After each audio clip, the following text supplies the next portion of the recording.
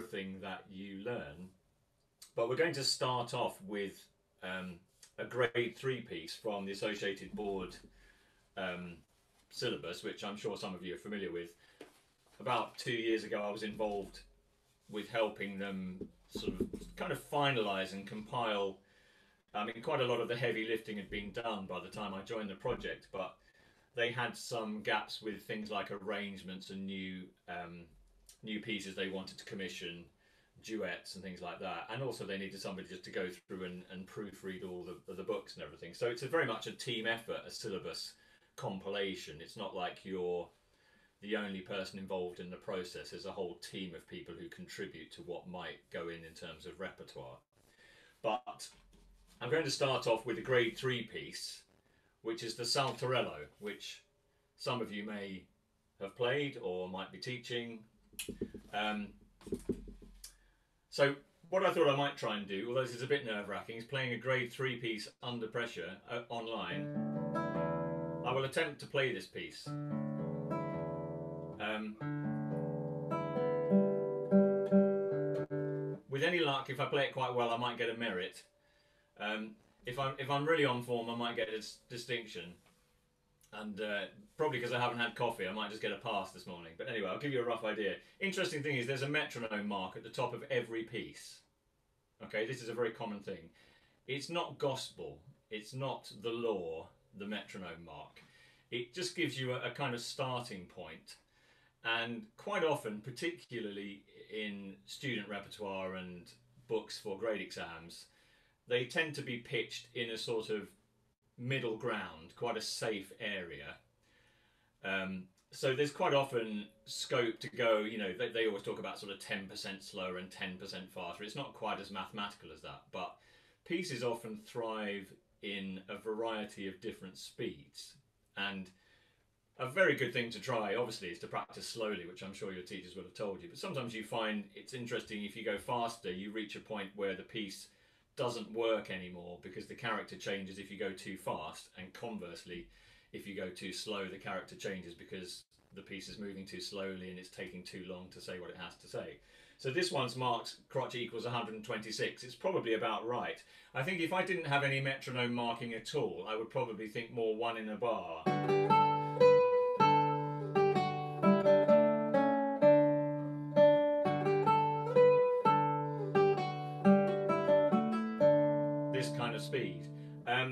Obviously, you could go quicker.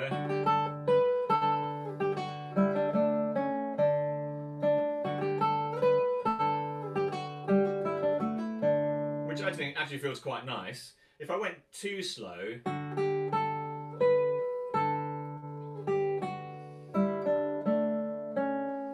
it's still quite nice, but maybe it's reaching a certain sort of you know threshold where the music feels like it just needs a little bit more, a little bit more movement. Um, so you know that's actually that wasn't one of my 10 tips but i found myself talking about metronome markings because i think they sometimes trouble people quite a lot and they think i have to play it at that speed. Um, quite often it's not really the case at all and i always think of tempo and temperature. You know think of a piece as being like a flower or a plant. It will flourish sometimes in a range of temperatures. And if the temperature gets too cold the frost will kill it off and if it gets too hot obviously likewise lack of water etc will kill it off. So pieces sometimes kind of thrive in quite a nice temperature range. They're quite resilient but if you go too slow or too fast then they start to kind of change or they don't work in that sense. So my first tip i'm trying to make these proper 10 tips as Vida and I discussed. So the first one was preparation at the beginning. Very common thing to think about. Make sure before you start you get your first finger on the F sharp and you get your right hand nicely into position touching the fourth string and the first string. So I've actually got everything ready I need to be able to play the first bar. Well, not quite the shift, but obviously. Sometimes then what I'd also do is I'd feel out the first three notes, the F sharp, the G and the A, these notes, so I'm touching them in the left hand, getting used to them before I play them. Then I release, keep your first finger on, touch the right hand strings, and I know, hopefully, even if I'm very nervous, that I'm going to get the right notes on the first chord. Alright, that applies with many, many pieces. Always make sure you prepare properly what you're going to have to do at the very beginning. Don't just drop in and play. So, for example, my, say my right hand hasn't touched the strings and I suddenly have to pluck them. It's quite difficult just to drop in and play those notes with no preparation. So, second point, this is a two-part piece. All right, it's a bass and a treble line. Now, admittedly, if I played just the bottom line, it's not quite so interesting, but it's a very, very important part of playing pieces which have different voices. So try the two voices separately, even though you want to be able to play them together. So if I played you just the bass line,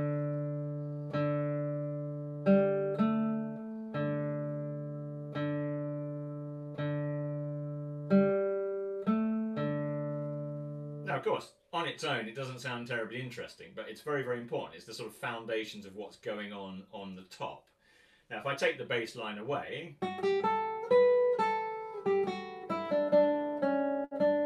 we have the tune on the top. So try practicing both lines independently of one another and then putting them back together. And it makes you more aware of the bass line and it makes you also aware if you miss notes and you don't hear them with the same consistency of sound and projection. So that's my second tip. Third tip, shifting. Now, the first thing you have to do here in terms of shifting is to go up to the B, right? Very common to make mistakes shifting. You might get, you know, B flat or a C natural.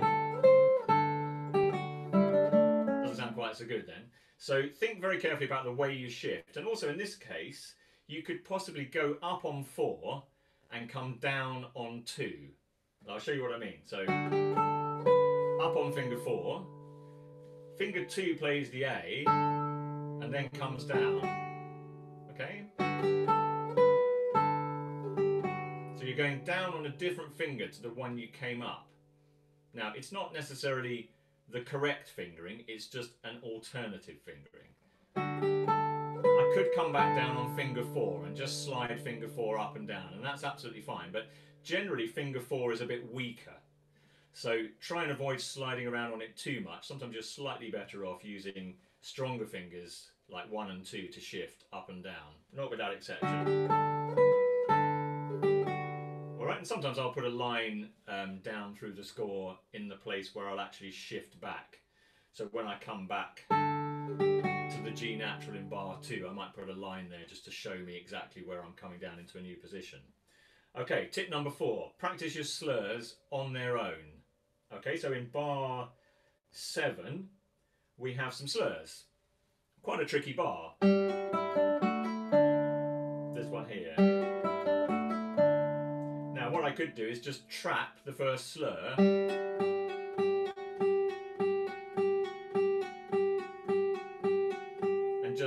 rotating it round a few times, okay?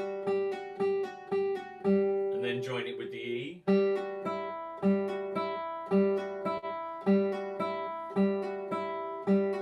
it's quite military. It's like sort of practicing something almost in a drill. Um, you know when you have uh, in England they have a store called IKEA, the IKEA, the the Swedish furniture place. Do you know this place? And you sometimes go in and they have a machine that's testing a drawer, you know, and it's opening it up and and closing the drawer about three million times, and it says this drawer has been opened, you know, 7,643 times or something. So this is kind of what you have to do. It's what I call the IKEA drawer technique. so you just have to keep playing it over and over again. You can always tell when you've done it enough because your parents, if you have parents, will tell you to shut up. Said, can you play something else apart from that slur? Okay, so here's the last one. Actually, slowing onto open strings is surprisingly tricky.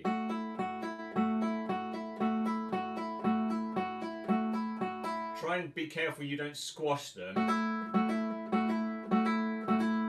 Like this, a very common fault. And sometimes when you go slower, it's like a musical ambulance. Slower, you have to control the slur more carefully. Alright, so take, take little things out from the piece. And you know, it's a bit like a car. You might sort of take the spark plugs out and replace them, or a bulb, you know, something like that. You take little pieces out and practice them on their own. Okay, with the descending slur, this is tip number five. make sure you place both fingers down in the left hand before you execute them. Alright, so bar 6, we finish with an F sharp. When we go into bar 7, we have to play a G, and you keep the first finger on so that you've got both notes of the descending slur in position already. It's no good trying to slur onto the F sharp as you're plucking.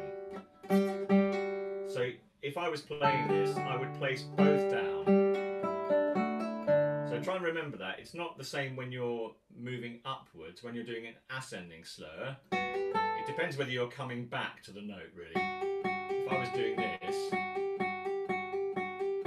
I would hold my first finger. If I'm doing this, then I'm going to let go of my first finger. So it depends always on the context, but just make sure that you've pressed both fingers down when you're doing a descending slur.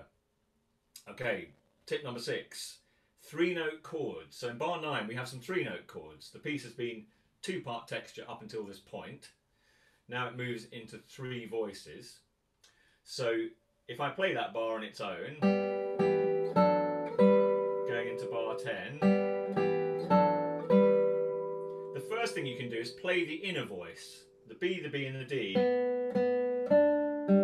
So we've got this little voice in the middle.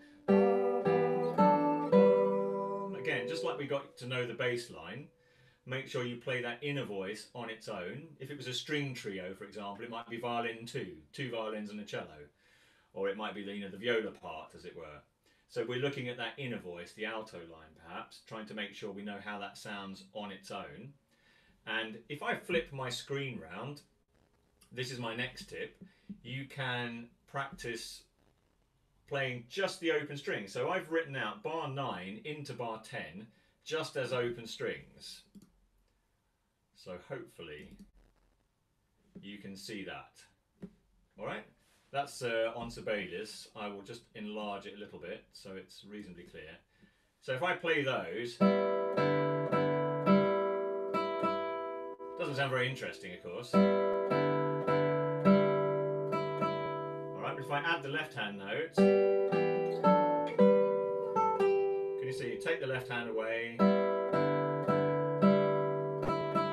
I do that, I'll mime the left hand. It looks a bit weird. It's what I call how to get a tube carriage to yourself. People see you practicing like this on the train and they stay well clear of you. Okay, so there's there's a tip. Try right hand on its own with the three part texture, especially there. Get used to the string spacings and the things that you have to do underneath the notes, as it were, and then add your left hand notes back in. Right, where are we? Yes. Tip number eight use the A finger. Um, where's it marked in here? Bar 13, yes. There's some quite good fingerings written in here that you can practice trying. So bar 13, it's got the, the A finger. I have a terrible joke because this is called the annular finger, which I always joke it's the annular finger because people use it once a year.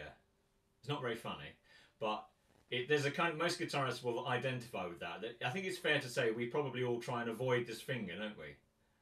Right, because it doesn't feel quite as strong as the other fingers. So it's a self-reinforcing problem because the less you use it, the stronger the other fingers get, and then the less you want to use the A finger. All right, so try and get used to using it, especially here in bar in bar 13. Your thumb and your index are already playing the lower two voices. All right, so they're playing the underneath part. so they're already doing that. They can't really come up and play the other stuff. They're trying to. They're busy trying to do this stuff underneath. So you need to bring your A finger into the equation It doesn't feel very easy, but try it. It's not the only way of playing the right hand, but whenever you see the A finger marked, always try it and have a go because that's the way you'll develop your, your right hand technique so that the A finger hopefully starts to feel a bit more secure. And you can practice playing MA scales instead of I, IM scales all the time. Practice using M and A and also I and A, which is very good, index to the A finger, which is not such a common right hand um, fingering in terms of technical work, but it's actually a very good. If you if you look at your right hand, you'll see that your index and your A finger, the third finger, are on they're on different tendons. the middle finger and the A finger are on the same tendon. So that's why they feel uncomfortable to play because they're sort of joined, as it were. But I and A actually feel, if you try moving I and A on their own, they're relatively straightforward to do. I don't know if you can do that. Can you make your can you make your A finger come down, you know, on its own? It's quite interesting sometimes to find out if you can move fingers independently of one another. I should take a screenshot at this point. Looks like everyone's sort of waving in a slightly strange fashion. Why don't we wave like that? It's interesting, isn't it? Why did we evolve to wave like that? I suppose it's not as obvious. Anyway, I've gone off on a strange tangent, as is often the case during my lessons. Um, so how are we doing? I'm getting there. So tip number nine, bar 10, hold the, hold the G to return, yes, to return to in bar 11. I had to remind, remind myself of what I meant. So when you get to bar 10, you finish on a G, and in a minute you've got to play it again. So I'm quite lazy. I can't be bothered to do anything more than I have to, really. So I'm going to keep that G on, and then when I play the next bar, it's already there. Can you see? Hold it. Don't lift it off, because then if you lift it off, when you put it down again, you might miss. So if you've already got it in position, kind of recycling the note and, and reusing it to make sure that you keep your left hand nice and accurate. And then my final tip for this piece, tip number 10, try shifting to 4 on the last G in bar 12. Yes. So if you look in bar 13, we have to play the first note in the upper part with finger 4. So instead of waiting for that bar and then jumping to get to the three note chord like this, sometimes what I do is what I call an anticipatory shift. I anticipate the movement. You move on the last G of the previous bar and you get it in position and then you've already got the first note in the upper part of the chord ready. So if I show you that again, shift, so you're shifting off the beat, not on the beat. They're very small hidden things like a lot of things in guitar playing that you can't really see and you can't hear. Well you can hear the musical effects but you can't really see them going on in the in the sort of background. But they're the things that often give you much more technical security and left hand um, legato as well particularly. So that's my little mini tour through um, that first piece. So we're going to move on now. If you want to jot down any questions or anything at any point, I'm going to try and scan through the chat at the end. Right, piece number two. Paganini, who of course was a violinist and a guitarist. So my first tip on this, well it's a sort of general observation more than anything else, is that this piece is in the key of F major. Now, that doesn't sound earth shatteringly interesting, but guitar music generally is often not in the key of F major, partly because there's no open string in the bass for F major. It's quite an awkward key in some ways to play in. So try and get used to that particular key, whichever key your piece is in. Think about the key relationships if you're playing in a tonal world. So, for example, in F major, F is the tonic, B flat is the subdominant and C major is the dominant. C major is quite a nice open key, which we're all very familiar with, but in this context it's the dominant and not the tonic. The relative minor is D minor. So you can think about the key relationships and then sometimes when you're practicing, try and practice your scales and your arpeggios in relation to the piece that you're playing. So if I was in the key of F major, I might practice an F major scale.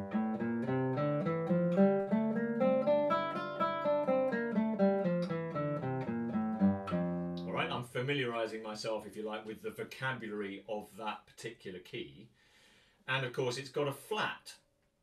I mean, I'm slightly stereotyping guitarists here, but we don't really do flats, we do sharps.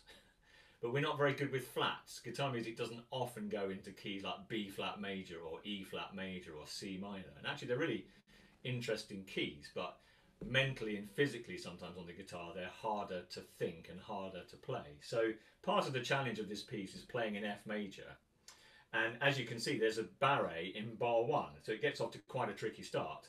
Now, if you look, there are some upbeats at the beginning.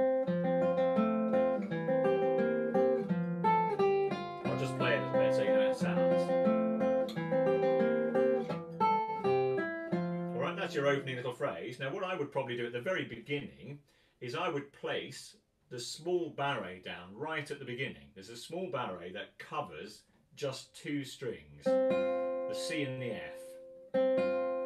So place that down at the beginning with the F and the A for the full chord. And I've got, again, I've got everything ready. Can you see I've got the whole shape for bar one. I've got the shape in the right hand with my thumb pressing down and my index and middle on the top two strings. I've got everything into position. Don't play the first C as it were normally and then jump to the barre. That can be quite tricky, especially at the beginning. Have the whole thing down. You can just loop the bar. I mean, I'm going to talk about that later on actually in another piece, but looping. Like the IKEA drawer test again. Sometimes I like to do things, you know, maybe five times. Two, three, four, five, one, two, three, four, five. All right, so you're, you're kind of playing in real time, but just trapping a little bit and rotating it round, a bit like the potter's wheel when you see people shaping, you know, a ceramics on a wheel and they kind of, you know, gradually alter the shape and, and improve the shape. So um, hold F in bar one and E in bar two through the bar. I just need to decipher my own writing. Hold F in bar one and E in bar two. Oh yes, that's right. Yeah. Um, at the very beginning in bar one, I would probably hold the third finger on the F in the bass. Now, strictly speaking, it's marked as a crotchet, so you might think, oh, I've got to lift it off. But actually, it's an implied resonance, really. It implies, because it's a harmony note, that it should ring. And the same in the next bar, I would probably hold the E. Alright, so you're letting that second finger ring on all the way through the bar, even though it's only marked for a crotchet. So note values are strange, and it's a, it's a very slightly odd thing. I'm sure all teachers will relate to this. One minute you're saying to your students, look, that's only a crotchet, let go of it. You know, you don't need to hold it.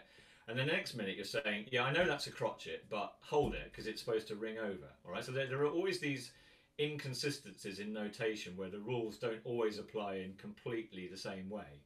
And, you know, I can't stress that enough that notation is extremely important and it's really, really important to start from the page and what's written, but it's only an approximation it's a sort of two-dimensional representation of something that exists, if you like, in four dimensions, really, in reality.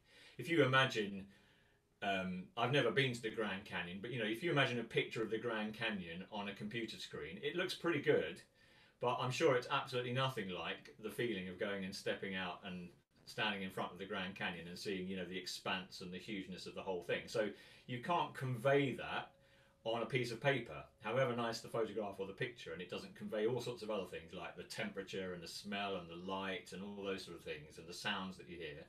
And actually, music, in some senses, although it's an extremely different thing, has similar properties. It's just compressed down onto this page, which is great because it means we can all communicate and show one another how to play the music. But at the same time, it's only really just a starting point, and it, it's the launch pad for you to listen to other players, listen to other music, listen to different instrumental music by the same composer. You know, make sure if it's Paganini, you listen to some of the violin music that he wrote. Uh, he wrote wonderful duos actually for guitar and violin as well. So there's a whole sort of um, world out there that sometimes then helps you to understand the music when you see it on the page. It's just like if you know someone's voice and then you read a book or an article or a magazine where they've written something, you, you can kind of connect more with what they're saying because of Okay, let's move on to my next point. Um, Try second. I had to remind myself what I wrote because I came up with these things a few days ago. Try second position in bar nine as well as the third written. Uh, now, what did I mean by that? Uh, second position in bar nine. Six, seven, eight, nine. Oh yes, yeah, yeah. Okay. Uh, so when you get to the first repeat on the second line, it starts to move key. All right, there's a slightly awkward fingering in the left hand. Please note the A finger over the top as well, which you're all going to practice, of course. AMA. I might possibly do AMI or IMA. I mean, you, can do, there's no, there are kind of good fingerings and bad fingerings, but sometimes there's not an absolutely definitive solution of right hand fingering. But this is marked to be played in third position. Because I think uh, Richard Wright, the editor, is probably wanting you to try and practice developing your third and fourth finger in the left hand. So practice that, you know, try and get used to that but you can also do it in second position.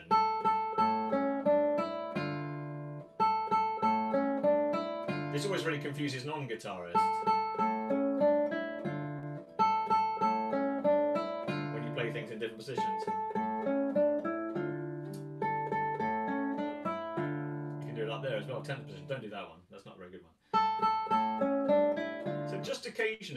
Might be a fingering in the book, and again, it's not always gospel. And as a student, it's very difficult. Obviously, if you're working with a teacher, make sure you take your advice and um, you know don't, just sort of be deliberately contrarian. But sometimes there can be other fingerings that might be slightly more comfortable for you. You know, if you put on a jacket, it might fit someone else and not fit you. And fingerings are a bit like that because they're not always designed to fit your hand. Everybody's hand has slightly different shapes and lengths. We did this last time actually. We can try another hand experiment where you hold up your hands and you see whether your index finger is the same length, shorter or longer than your A finger in the right hand and the left hand. So mine are there. So I can see Vida's got more, yours are more level, I think. Oh no, maybe in the in the right hand. Interesting. Can you see? So that our length of fingers is going to be different. So if my A finger is a lot longer than my index finger, but yours is level, that will then affect which fingering sometimes feel comfortable for me and which ones feel comfortable for you. So that's a possible fingering alternative that you could do in that particular bar, bar 9. Bar 11, so this is tip number 5. Bar 11, finger 4 on the D. And what am I talking about here? I've got no idea what I'm talking about. Bar 11, finger 4 on the D the 3rd fret. Just bear me a second. Bar 11. Oh yes, yeah. So when you get to bar 11, because you've got to play a C in the bass in the next bar, don't play the D at the end of the bar with your third finger, because that's got to jump across. Alright, so what I would do is I would put my fourth finger on the D, and then my third finger is free to climb across, and then you get better left hand legato. So if you look at the end of bar 10, it's marked with finger 4 on the G. And you keep your fourth finger at the third fret. In first position, quite often, the fourth finger is more comfortable at third fret than the third finger because the frets are very slight. The First position is a slightly extended position where your hand doesn't quite naturally sit. If you've got a guitar, try it. So you put your fingers down at first position. If you keep your left hand totally relaxed and you put it at first fret, you will probably find that your fingers fall over only three frets. All right, if I want to make my third finger get to the third fret, I've got to stretch very slightly. So quite often you find in first position that the fourth finger can feel easier at the third fret. So if I play bar 10 into bar 11, I'm using my fourth finger on that note at the end of that bar. So try and look out for that. That happens quite a lot in the left hand generally. Bar 26, swapping fingers on the same note. 22 and 26. Oh yes, yeah. So we get down to...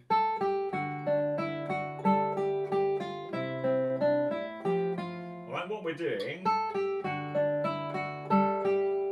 halfway through bar 26, which is on the fifth line, last bar, and then we swap. So there's a positional shift halfway through the bar.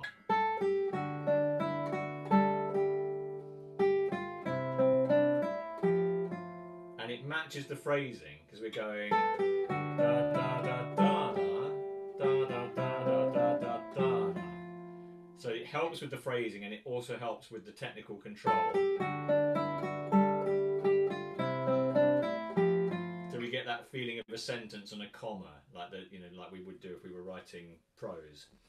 Um, you could try a little te- practice technique for that, which is just to play the same note and keep swapping your finger.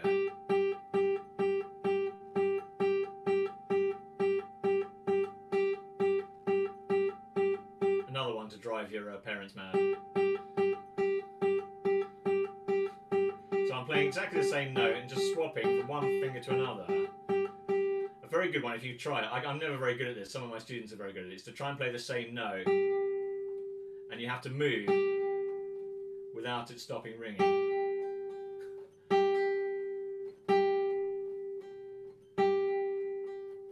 See if you can go down and come back again. Organists do this quite a lot. You know, they'll play a note and then they swap fingers on it. See my keyboard here. Wherever we set up that end, yeah. So they'll swap fingers on notes. So you might come down on your thumb and swap on the same key to other fingers so that you can reach down. So it's quite it's quite a a finesse technique, but it's a very useful one. So next one, next tip, where did I get to? Bar 28, use 3 and 4 on the second note chord. Yes, that's right. Um, bar 27 into bar 28.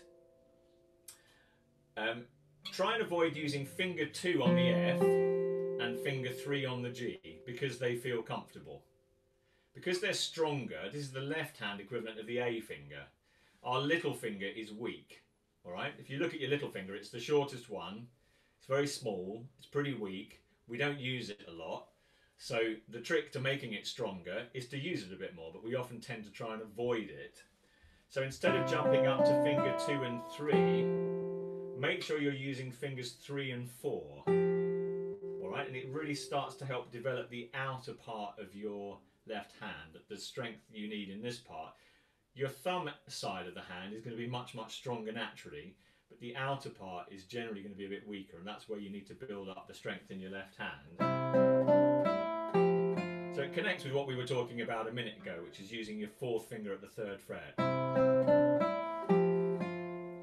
Okay, so try and do that. Try not to avoid fourth finger and the A finger in the right hand. They're sort of connected in a way. Look out for accidentals, C sharps, F sharps, and F naturals. This is my next tip. Um, music's often written, or nearly always written, in black and white, but I recommend highlighter pens or coloured pencils or things like that to to highlight, especially things like dynamics, because they often get camouflaged or not really noticed. It's what I call the small print. You always have to read the small print of the document very carefully. Music's a bit like that. You've got to read your small print.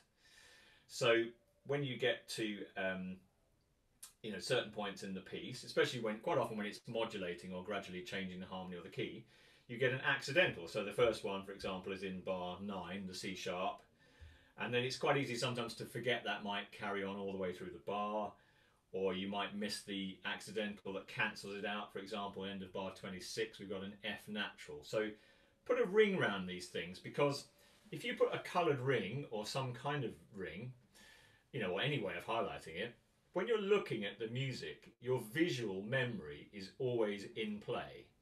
Okay, so so when you're looking along the score, every time you look at it, somehow that is going into your mind as part of the tools you use to remember music. So if every time you scan past that line, you see a big ring around it, you notice it, you think about it, it's there. It starts to happen subconsciously, even if you're not necessarily kind of remembering it.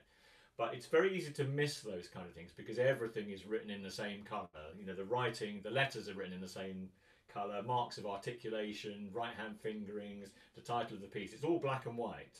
So, you know, give it some kind of technicolor quality to help you notice and remember things on the page.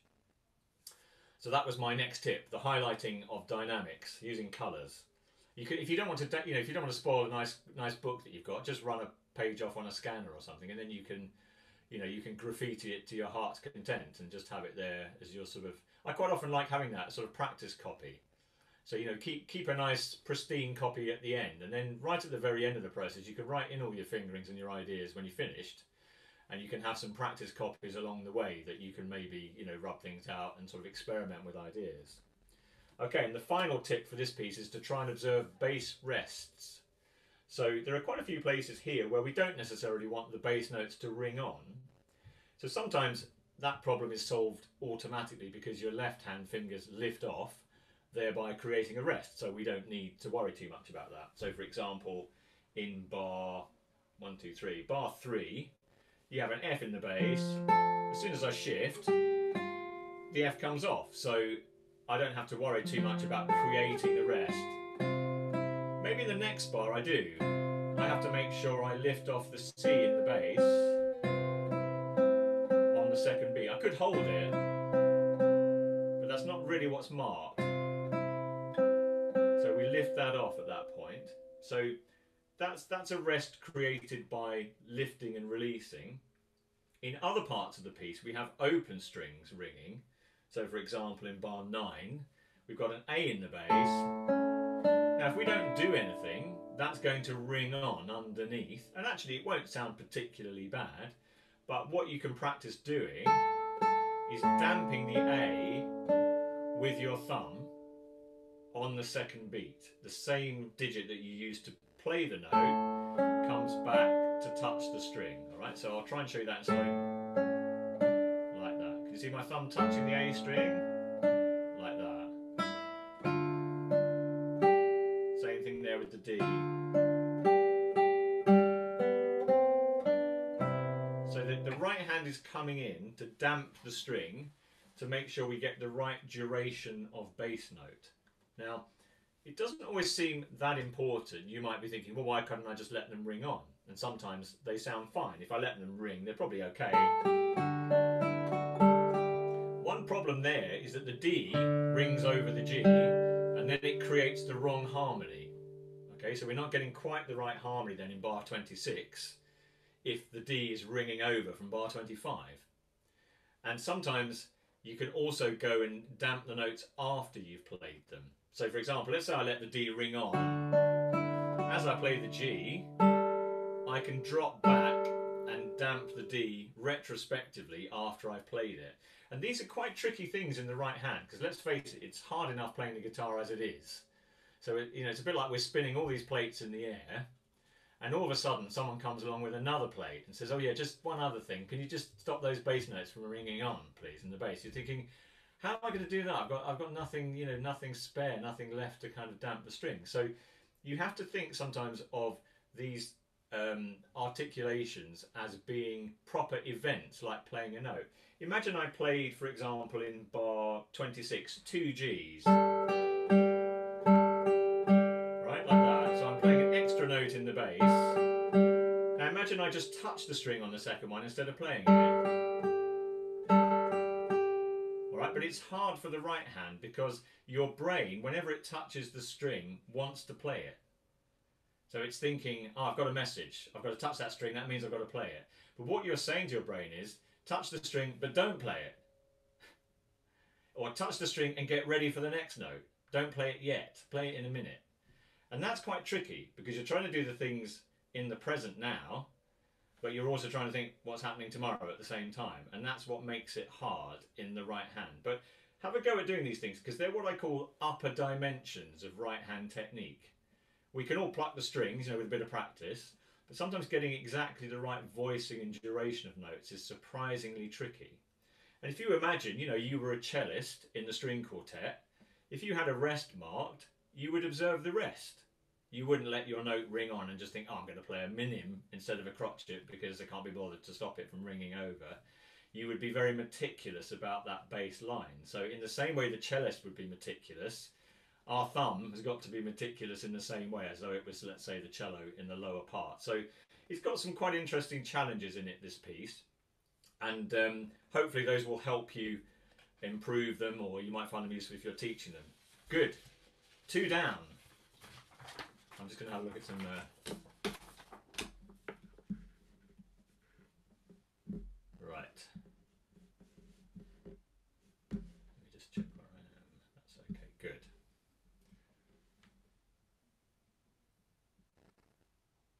Someone had a question about uh, how to do the left hand part of bar 9 of the Saltarello, which I think we did, but I'll just go back over that in case you missed it. The left hand part so this is just going back to the previous piece. Someone had a question about how to do the left hand part of bar nine of the piece.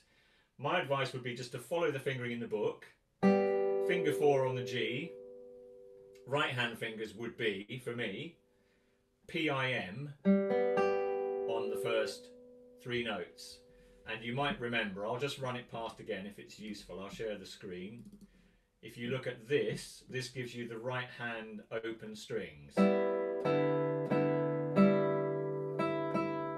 Okay, so that's the, the right hand that's going on in bar 9. If I add the left hand, put the fourth finger on the G, second finger on the E, then hold those notes and slide up two frets to the next shape, to third position. And again, I'll do my IKEA drawer technique.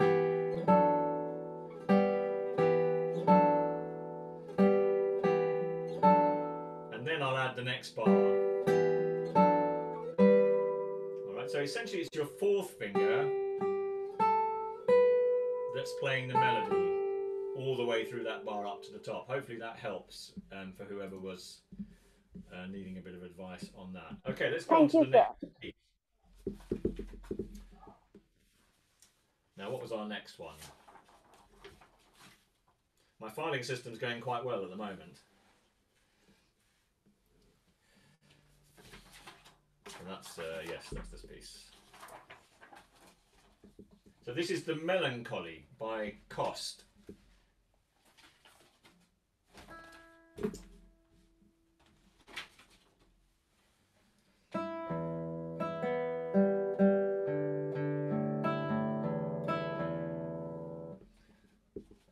Again, very slow metronome mark. I don't know what metronome mark you've got on this piece, but mine has crotchet equals 48, which is actually very slow. Sometimes it's quite hard on the guitar to play slowly because our sound is always decaying away. It's not like playing a note on the cello or the violin or singing a note or playing a note on the organ or blowing a note on an oboe or a flute where you can sustain the sound our sound at the envelope is always gradually fading away. So, in order to sometimes have sound present in several beats' time, you have to project a reasonable amount of volume. So, when you're playing slowly, I think these issues become more of a factor perhaps. But just make a note of that metronome marking 48. It's not particularly quick, it's obviously slower than a second a second is a very good way sometimes of just roughly getting a feel for the speed of a piece or a rhythmic unit. So it's about what? It's four fifths, isn't it? My maths isn't too bad. Four fifths, is that right? Yeah, five twelves are 60, four twelves 48. Five, four fifths of um, a second, roughly, for your crotchet beat. It's probably about that, isn't it? That's my guess. So sometimes, you know, it's quite important to get the feel in your mind of the sort of environment. Obviously, if it's melancholy, there's a certain sort of sadness and you know reflective quality that if we go too fast, it's not going to work as a piece. If I went quickly.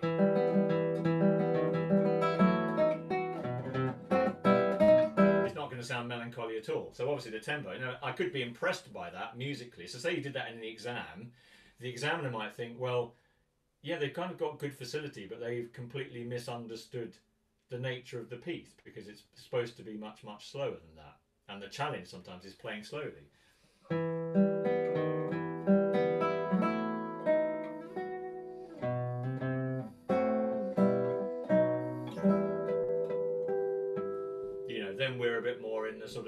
Of the melancholy that we need. You know, and without getting too um, introspective and depressive, it's quite good sometimes to relate these concepts to your own feelings of melancholy. You know, when think of occasions sometimes when you feel slightly more downbeat or depressed or reflective. Actually, sometimes melancholy is a sort of strangely pleasant um, sensation, and um, I mean, I'm going off on a tangent here, but in the Renaissance, it was quite sort of widely celebrated in a strange sort of way. And sometimes uh, you can have melancholy, nostalgia is quite a good example where you're kind of sad looking back on things that you were happier at the time. So sometimes you're sad because you remember happy times. So this is kind of mixed emotions that you can have in a piece. So sometimes just translating something of your own sensation of what that word means helps you to find a way of expressing something in the music that's a bit more personal.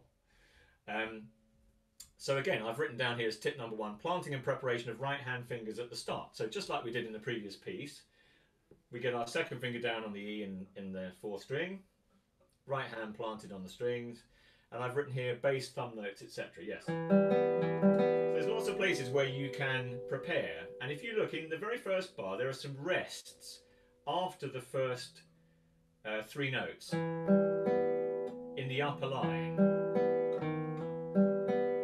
Alright, so in order to execute those, if we're going to do them literally, we have to touch those strings with the same fingers we plucked them with while we play the D sharp. Okay, it's quite tricky to convey this on the internet, but alright, I'll try and get my I can sort of see myself on camera a bit.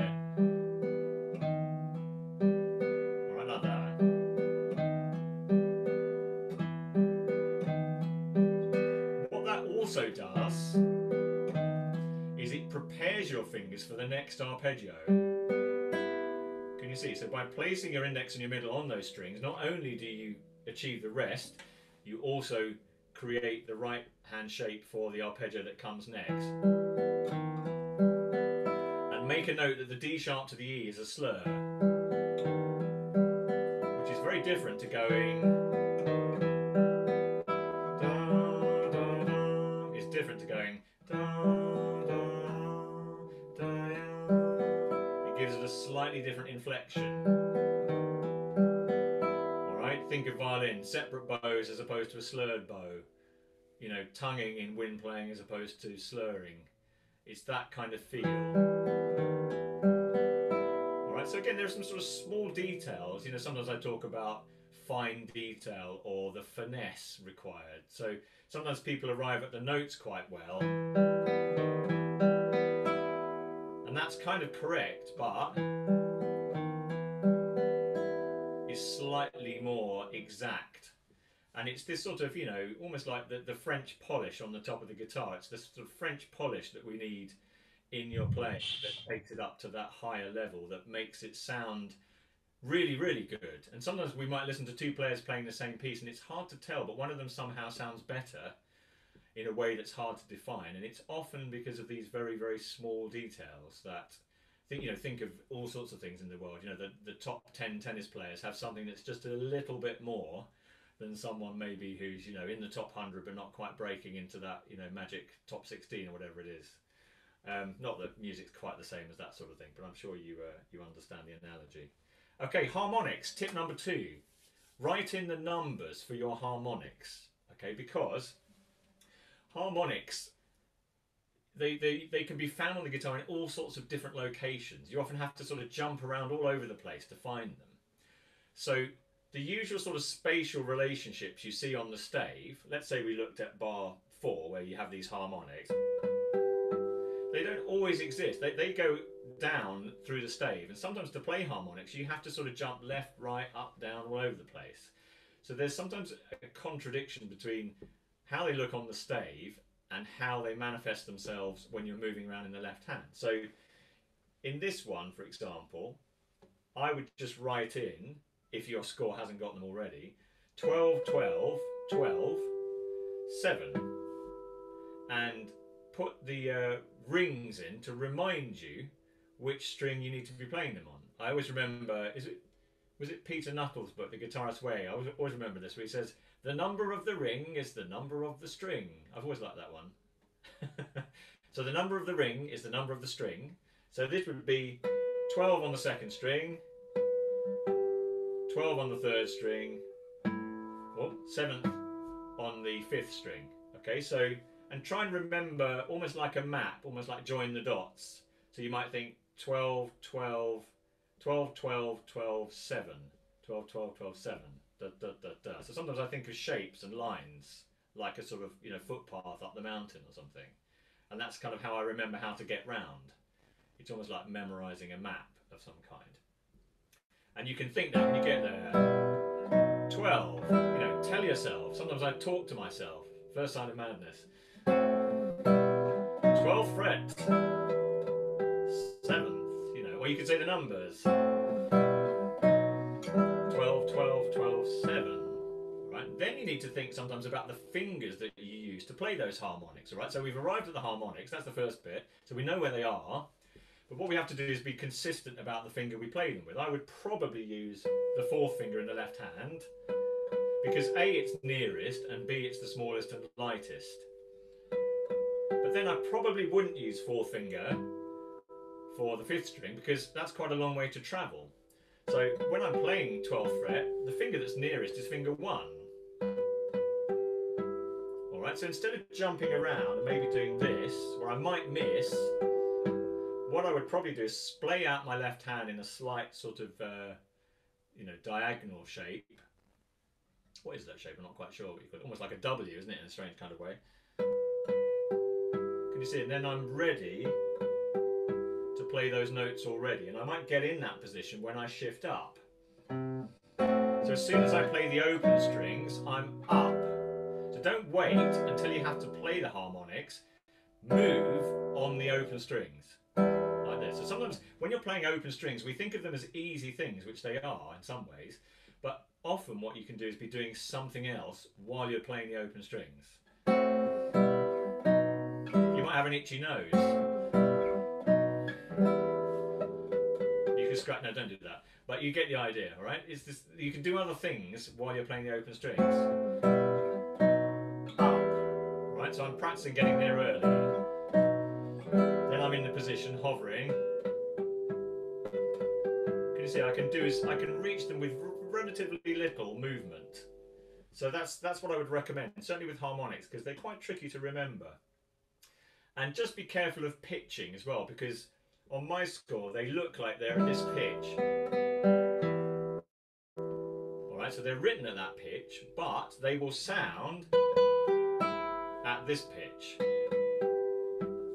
Okay, so they're going to sound an octave higher. And one of the slightly problematic things in guitar music is that harmonics, in some ways, have never become completely standardized. They're often written in slightly different ways in different editions. Some people use diamonds, some people use traditional note heads. Some people put 8 VE, some people just write the numbers, you know, it, some people just put the string numbers. So you, you sometimes get these um, little moments of confusion where it's not quite clear exactly which register um, you should be playing harmonics at. But they're a lovely sound. They tell you a lot uh, also about projection because when you hear a harmonic, however large the concert hall you're in, you can normally hear it. And it tells you something really interesting about the nature of sound and projection. It's not to do necessarily with power, it's to do with the quality of the sound.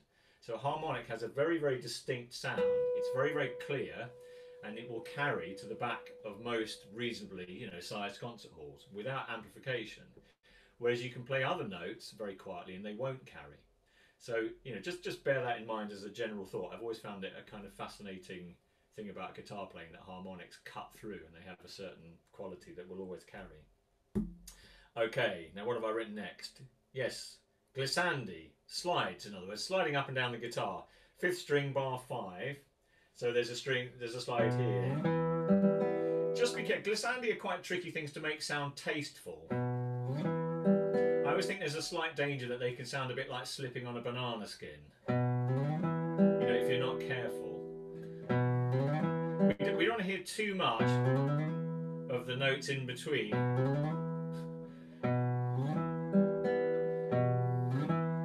Sometimes you have to shift quite late I always think of Villa-Lobos when I play that.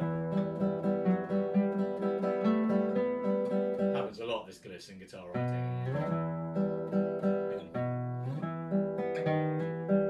So just be careful in the way that you gliss. Just a very, very slight slide. It's almost like a vocalism. We wouldn't go like an air raid siren going off You might just have a little bit of an elision, sort of at you know at the end. Um, there's another one later on, major section G first string. Yes, when you have the G sharp coming up. Right, so there's some lovely ones later on in the major section on the fourth line. These ones. And a gliss produces a very different characteristic to a slur. It's quite different to going. All right, so again, it's this little, you know, just very slight inflection of the line that makes it sound stylistically correct. Them all, it's correct. It's the notes are correct, the rhythm is correct, if you like, but it's not got quite the right inflection.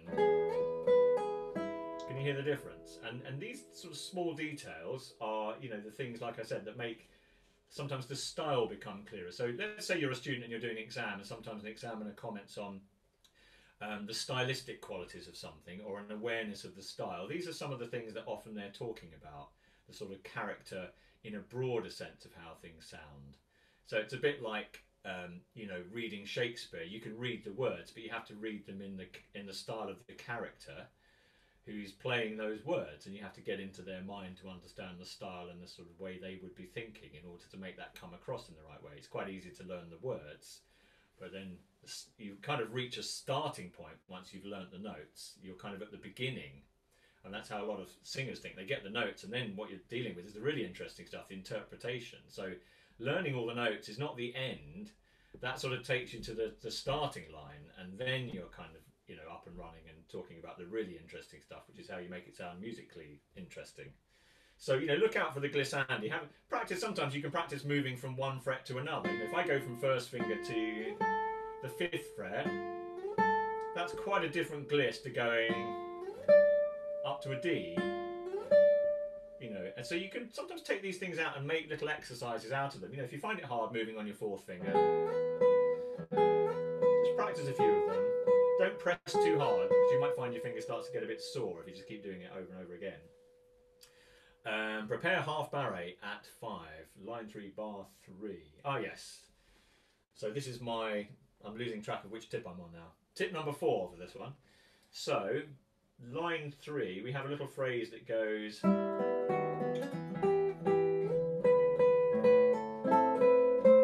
Just here.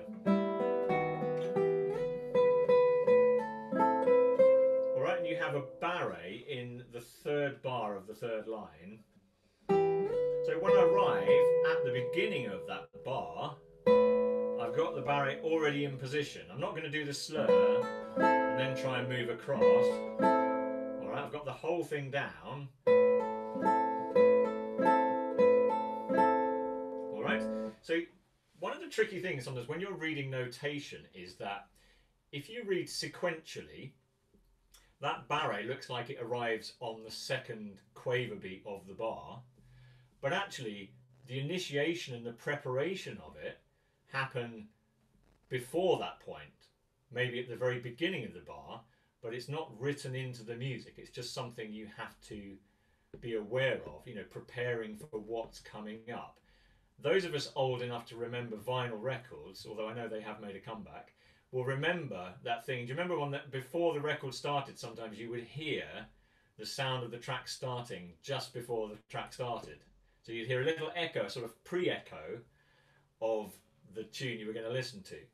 And this technically sometimes you get these pre-echoes, these things where you put things down ahead of when you play them, and then synchronization works really, really well. Sometimes if you wait till the very moment you have to execute things, then you end up with problems and your left hand finds it harder to coordinate what's going on. So sometimes I'll put a little arrow, I might put an arrow backwards from a chord in the score so it reminds me, again, visually, to think, right, this is where I'm going to place this chord down. It's part of this beat and not that beat later on. So again, preparations, very, very important. What's that old Scott Tennant one he, he, he draws out in um, Pumping Nylon? Fail to prepare, prepare to fail. It's a good one. I wish I'd paid attention to it half of my life, though, that's a problem. Um, That's the trouble. When you're a teacher, you realise what a massive hypocrite you are once you start teaching. You think that's such a great idea. Why don't I do that? okay, bar uh, number five, colour changes. So when you change key, sometimes it's quite nice to do something else when you change key. So obviously the music is changing its mood and its character. So it could be that you know you've been in E minor for uh, the first chunk of the piece. You might find you've been playing with a certain color and a certain dynamic, and when the music moves to E major, obviously it changes its sonority in terms of the key. But it might be nice then sometimes to change the right hand color, or to change the dynamic, or to slightly elasticate the phrasing in a certain way. So let's say I was playing the end of the minor section.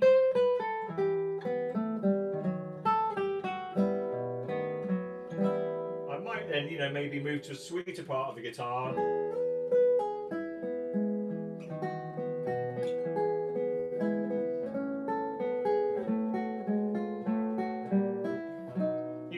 Idea, right? So the beginning might have been. Whoops, I missed my shift. I need to practice my shift. Always practice shifts without looking as well. So you get the feel of the shift as well. So that's got a very different colour maybe. When I get to the major section,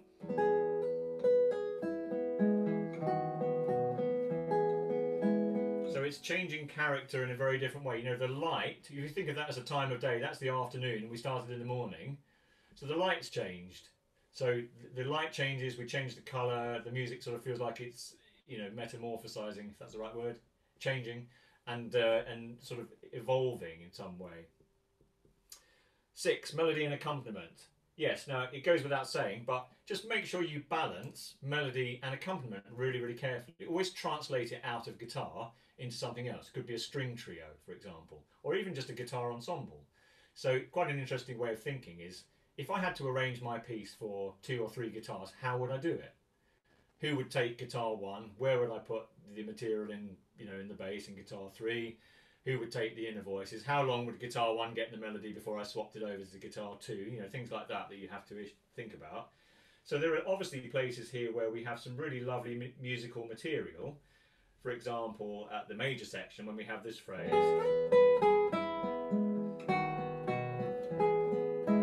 so we've got a tune. Really lovely tune, and we don't want it to be drowned out by the other material underneath. Alright, so I'm playing that deliberately badly.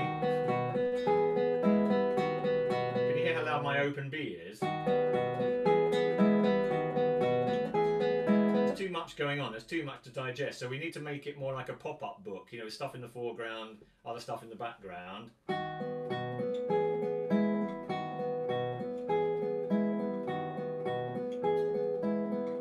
So here's the B too loud. And now to now nicely balanced.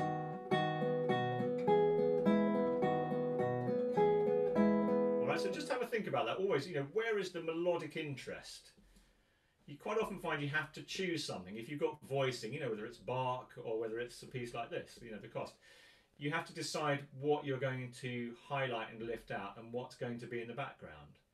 You know, think of a film, you know, lead actors, supporting cast, you know, lead violin, someone maybe playing, you know, second viola. I'm not, I'm not denigrating that in any way. They're all equally important, but they have different sort of roles to play within the musical setting. And it's the same here. You know sometimes the accompaniment is crucial to hear but we don't want to hear it too loud. They always say for example in double basses in the orchestra the only time you should be aware of the double basses is if they're not playing. Which is i mean it's not quite true but there's definitely an element of truth in it that quite mm. often in orchestral things you know if you get to the end and someone says what did you think of the viola playing? You know people say oh i don't know. I don't really notice the viola playing very much unless they did a solo or something but you know you might have noticed violin one or the lead orchestra or perhaps the timpani player at the back you know somebody who's visually kind of um, dramatic to watch. Okay let's move on to our next uh, next point. Pauses. Yes pauses and how to measure them. So we have some pauses in this piece. There's one for example on the third line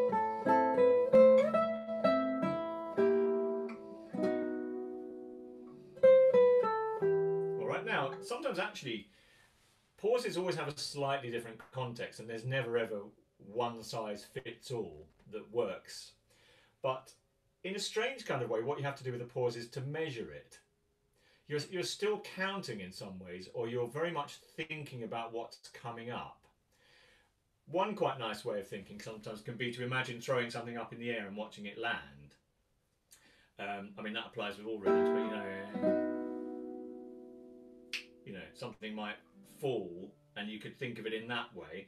Or you just imagine yourself counting very slowly. One and two and three and four and one and two and three and four and one. Can you see? So actually what I'm doing there is I'm not really pausing mentally up here. It's more like a rallentando that creates space. And then I move on once I've thought about the measuring and the proportion.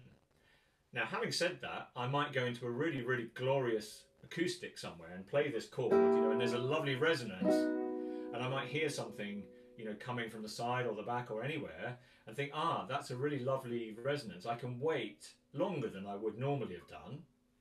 And conversely, I might play in somewhere that's very, very dry, you know, lots of carpet, lots of curtains, not much in the way of acoustic to support and enhance the sound.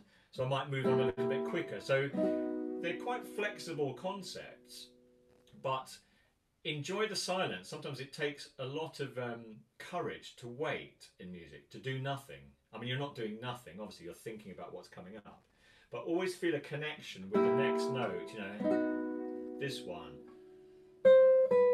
All right, now, if I wait too long,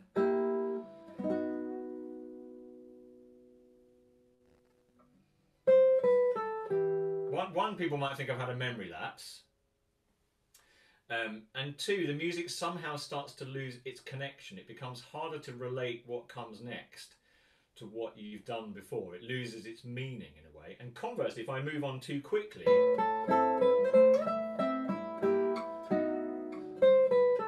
right, I've not had quite enough time to digest the flavour, if you like, of it's like you know eating a great chocolate or something. You know, just you want to spend a bit of time savouring, savour the flavour. So enjoy it. You know, listen to the sound, and that's another thing you can do. Just listen to the sound decaying. Maybe when it stops, that's when you move on. So you know, it can be very spontaneous. It might be that you have a plan as to roughly what you're going to do, but other factors will decide in that magic moment when you're performing live as to what you're going to do at that very point in time. And that's actually sometimes what makes live performance so exciting and interesting is that people are making these sort of split second judgments about how they're going to shape and, and phrase the music. Okay, next one. Repeat. How to vary. Yes, varying repeats is tricky. Now, funny enough, we, we talked about it a little bit a moment ago where we talked about the modulation. So when you go back, think about why you're repeating. So whenever we repeat anything, there tends to be a reason behind it. And I always have this idea that there's no such thing as an exact repeat because it happens in a different place in time. It's like the old, uh, what's that old saying? I'm probably going to get it wrong, but you never step into the same river twice. You know, you're repeating the same action, but it's not the same water that's going past your feet.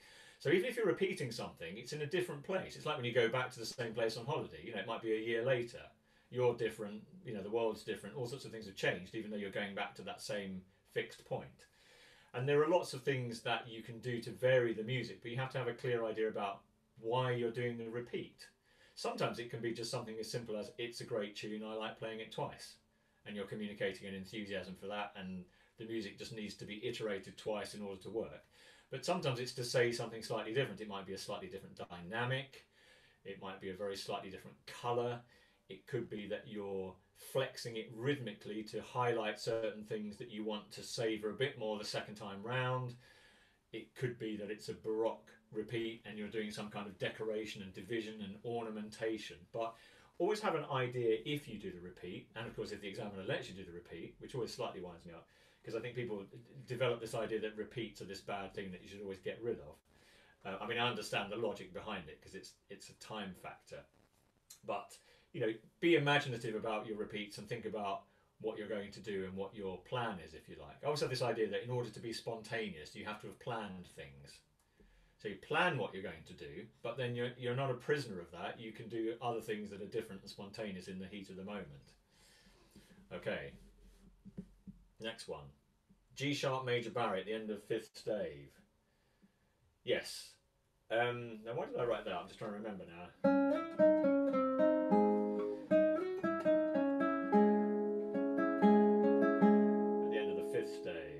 Yes, yeah, that's right.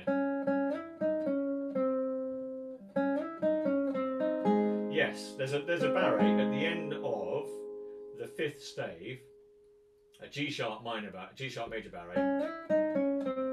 We're in a slightly alien key for many guitarists. C sharp minor is not somewhere we tend to like to be very often, so it can feel quite an alien part of the guitar.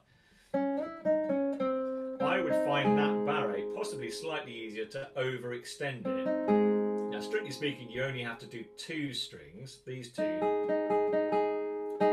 But if you overextend, sometimes it can feel more comfortable. Not always, because again, it depends on the length of your fingers. But that can sometimes feel quite stressful.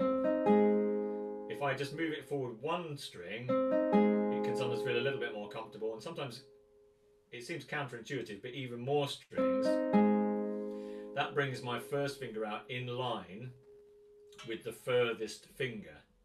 So the first and the third then are in line rather than being slightly asymmetric. So just bear that in mind. Barres sometimes can be slightly movable creatures.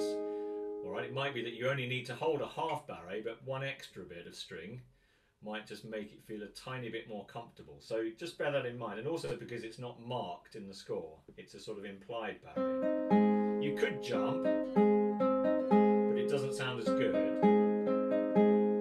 But you see, if you look at my left hand, that probably doesn't look quite as comfortable as that. I find that one a bit awkward, and that one feels a bit more comfortable. So, you know, have a play around with the barres. You might find that there's just um, a little bit of uh, shimmying does the job. You also find that you've got, you know, these little folds in the, the sort of creases in your fingers, and sometimes the string will fall in a gap there that makes makes it sort of produce a buzz. So you can sometimes just adjust the barre to avoid that. Okay, final point was to write in positional shifts, particularly in this C sharp minor passage. So, for example, we get to the end of the uh, the previous section where we have. Uh,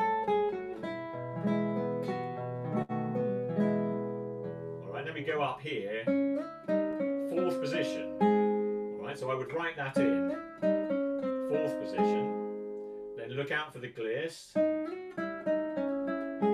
Alright, so you have to keep coming back to slightly different places for the fourth finger to gliss. But if you look carefully, your first finger is playing the barre here. In a minute, my fourth finger is going to be where the first finger is. So I quite often think this a lot in the left hand to position my left hand, I think I look at something I'm doing now and I think in a minute I'm going to replace that finger with this finger. So they literally just swap over like people changing shifts. You know, like the midwife swapping on the sort of late shift, that kind of idea. So you've got D sharp, I'm going to go straight to that D sharp. You can see it's the same as the barre. Like that. It's quite interesting watching yourself play on the a computer screen actually, because your left hand moves slightly after you play which is quite odd. Alright, so in a way, you might think of that, you could possibly even think of that as being first position. I'm not sure whether I would do it. Alright, but you need to be just a little bit careful about the shifts on that passage because it's quite tricky. And I, I often write in, well, I nearly always write in shifts with a line, not just the Roman numerals, but with a line down through the stave. And then I see the stave in chunks or in blocks and it becomes again visually easy for me to remember which passages then are in which particular key. Okay, so that was the end of the uh, the Coste melancholy. We're getting there. Next one is some Bach. Let me just find my score for this one.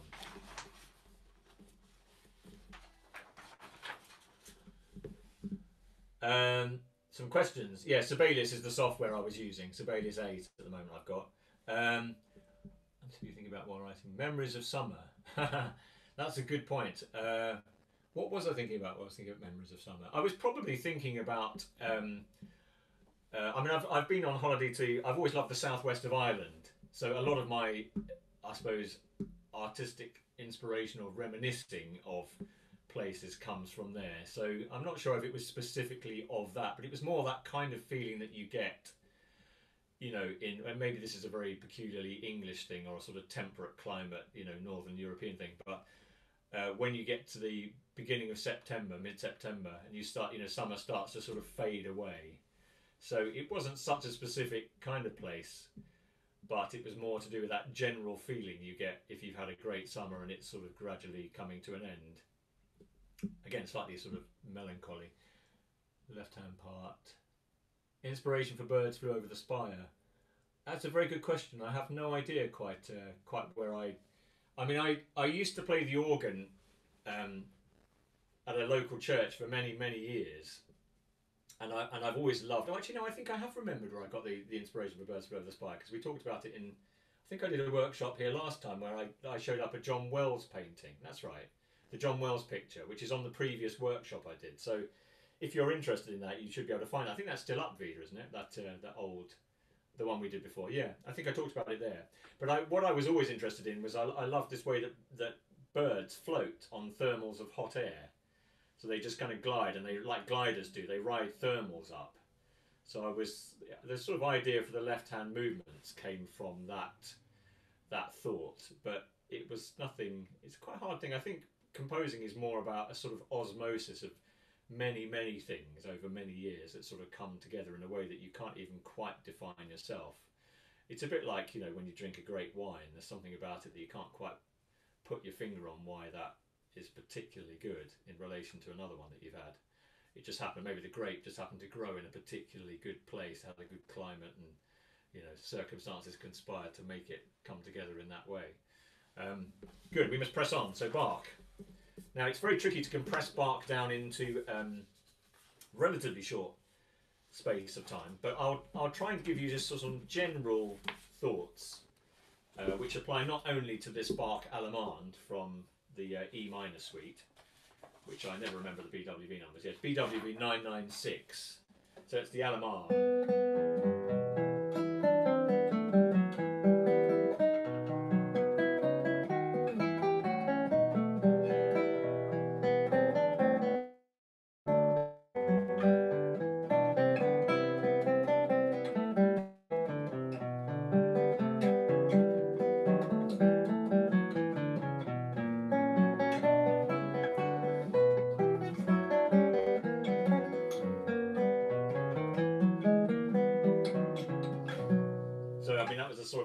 Approximation of Bach, but it gives you a sort of feel for the piece if you're not familiar with it. Um, now, Bach, I mean, you, you're dealing with somebody who's certainly considered. I'm not sure if there is such a thing as a top five of uh, composers, but top three, top two, possibly top one.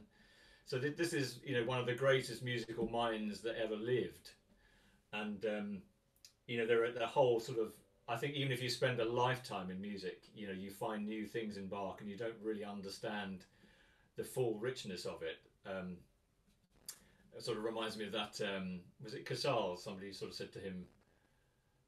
I think it was Casals who worked out that you needed three. You worked out if you had as much time as you really need to master the cello, it's going to take something like three hundred years. Um, and somebody asked him why he still practiced when he was in his nineties, and he said, "Because I think I'm getting better." Which I, which is you know I think the trouble is you get sort of you get better mentally and then you're you know physically sometimes your fingers start to start to fail you. But I think you know Bach is a lifetime of exploration really. So especially if you're a young student you know you're just in the foothold foothills of this this wonderful exploration of all this music that's out there. And your your own ideas will change about the piece enormously as you as you go through you know your musical life. And garner all sorts of um, advice and experience and knowledge about the music. But there are lots and lots of things that go into a great Bach performance. But I'll talk about some of them. I mean, the first thing to say with this is tempo. Now, Bach is tricky because there's not necessarily a correct tempo. And I, I had a quick look online just recently and I thought I'll have a look at some recordings and see who does what. And I'll give you two recordings that you can try. I'll just type in the names in case you're less familiar. these are the two. I particularly liked Jason Vieaux's one. Um, you'll find it online. You don't need me to write in the in, in the details here, but contrast these two recordings, and and you will notice, you know, that they're very both are obviously great players, and both of whom play at very very different speeds, different tempos. Um, and, and in very different ways, not necessarily better or worse. Just it's a, just a different approach. But so you know, choosing your tempo is um, is a big factor. But of course, that is governed by the fact that in a baroque suite, it's dance. This is a dance. Now, people debate about how literally the music is intended to be danced to.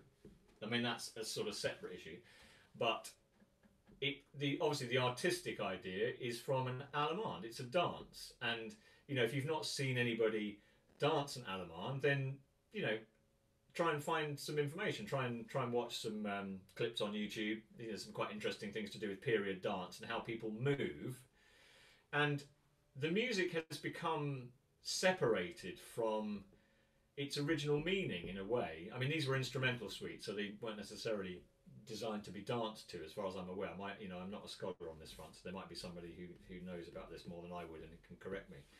But um, it's become separated, and it's quite an interesting feature of music. If you think of things like a film soundtrack, so a lot of us go to the movies and really, really enjoy a film soundtrack. And some film soundtracks are great if they're just played as concert pieces, but sometimes they don't work on their own as concert pieces because they're very much designed to be part of um, a visual experience, and the narrative is driven by the film, and the action in the film governs the form and the structure of the piece. And when you take it away from that, the music becomes altered and changed, and perhaps not quite as rich as it would have been had you heard it in its original setting. The same with a ballet. You know, when you see people dancing to something, and then all of a sudden the piece is removed, you know, it, it can still sound fantastic as a piece of music, but it really comes to life when you see people moving around to that music. So this is a slightly different thing, but you know, be aware of what an, an allemande looks like, and remember that people dance to it. You know, it becomes very Bach is perceived as being very, very academic music, which of course, in a sense, it is. But that's not how he conceived it to be. I don't think. I mean, I know Bach did have a very didactic strand to his thinking, you know, and like to, to teach people through the music that he wrote. But I think you know it's so much more than that. So and I think people are slightly afraid of Bach, perhaps because it seems a um, slightly scary thing. Sometimes if you're playing an exam or you're playing to a, a, panel, all of whom I always used to say to my students, as soon as you play one note with Bach, you've divided the jury. It, it's kind of like that. You know, it, or to be honest, you might have divided the jury before you even started playing when you walked into the room. But um, you know, it's very hard. It's a bit like two economists. You get them in the room and they disagree with one another. I think musicians are a bit like that with Bach That everyone has their sort of idea about how they think it should be played.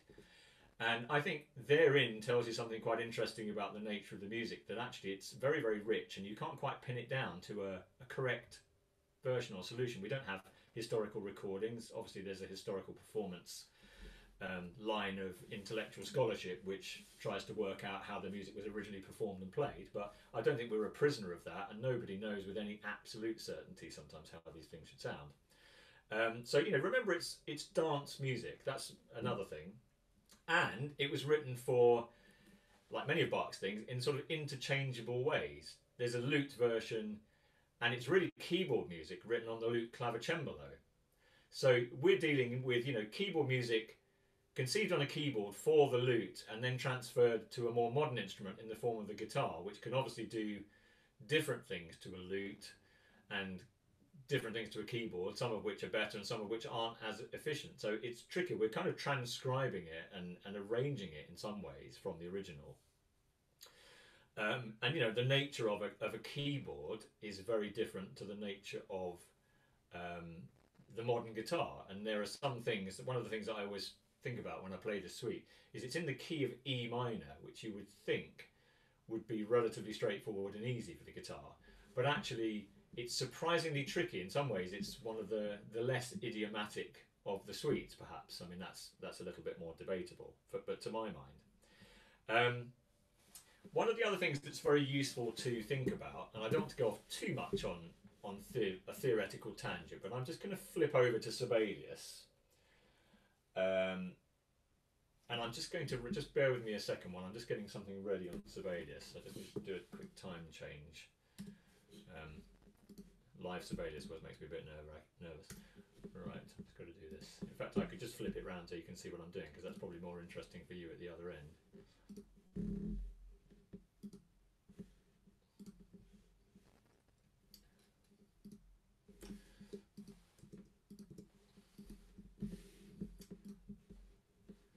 Uh, what I'm going to do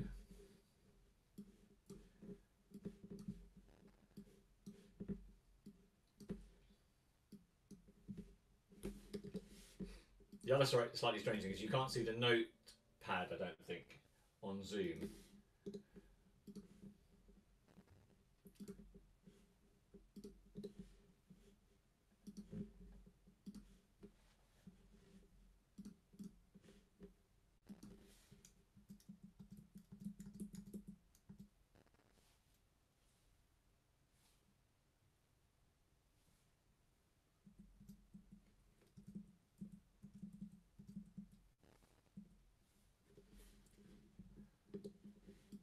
Going to do a bit of, bit of second voice.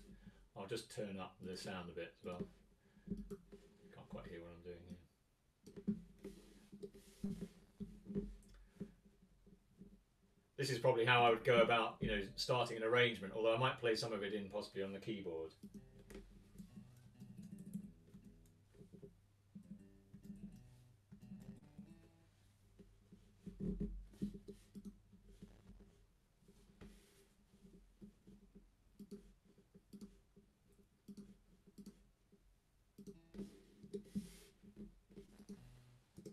Not bothered with the uh, upbeat because it just makes it slightly quicker just to do it this way around.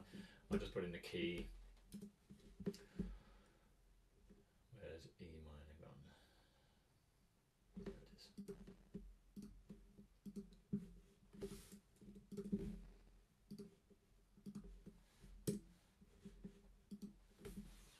Actually, that's a bit big, isn't it? I'll get rid of those bars. I'll leave it as it is. Okay, so hopefully everybody can see that. I've just I've just printed out the first bar. I need to have a, an F natural there, of course. All right, so that's the first bar of the Allemande. And what I'm just going to talk about a little bit is is the nature of melody and melodic decoration and this this might be a bit dry for some of you but it might be interesting for others. And it's definitely something you need to be aware of when you're playing i mean all sorts of music really but with bach it can be particularly important. And we have what are called for example harmony notes. Okay so we're in the key of e minor. And if we look at this page here what we've got is harmony notes on the first um, one two three four five. But the D here is outside the chord of E minor. So this is what we call a passing note. If you think of the chord of E minor, it's E, G, B. That's the triad. So notes outside that, like D and C and A and the F sharp, these are what we call passing notes. So if I took out all the passing notes, the piece would sound like this.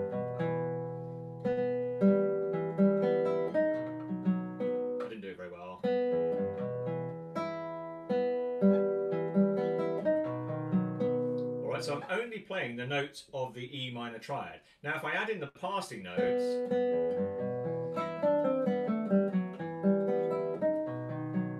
all right, you can hear we've got passing notes, but those notes are subsidiary and secondary to the harmony notes. In the next bar, we have what are called auxiliary notes, where we play, and that would be the E. So have a think about you can talk about this, you know, with your with your teacher at some point if it's of interest and relevant to you as a student. Have a think about harmony notes, passing notes, and you can have accented ones and unaccented ones, subsidiary notes, auxiliary notes, which are notes, for example, that drop below and above um, another note and return to them. I'll give you examples. Most of you probably know the, the violin partita. If I take out the auxiliary notes, all right, we just have the E major arpeggio. As soon as we add the auxiliary note,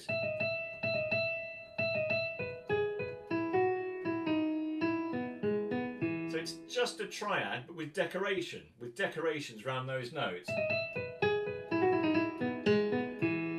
Okay, and that's those are what we call auxiliary notes, lower auxiliary notes and higher auxiliary notes, but they're slightly secondary to the harmony notes, and that sometimes affects the way you shape and you inflect a line in Bach.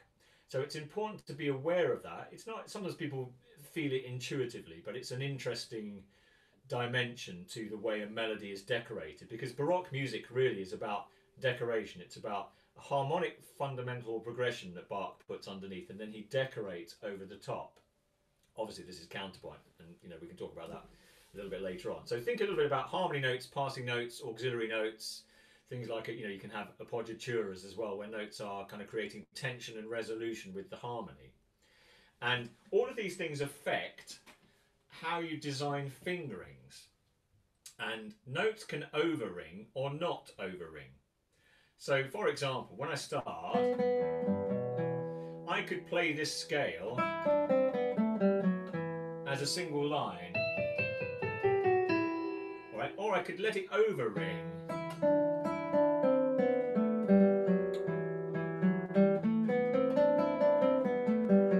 Now arguably that's not probably quite as appropriate because we've got passing notes that, that move in step. So we're, we're better off hearing a single line. But when we get to the end of the bar, obviously these notes can overring because they're harmony notes. Can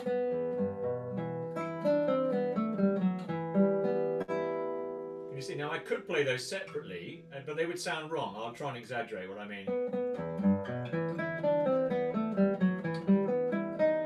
I didn't do it very well, but they all sound completely detached.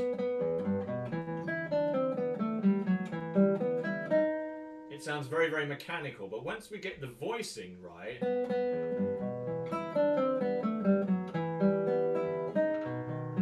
so again in the next bar, those would ring.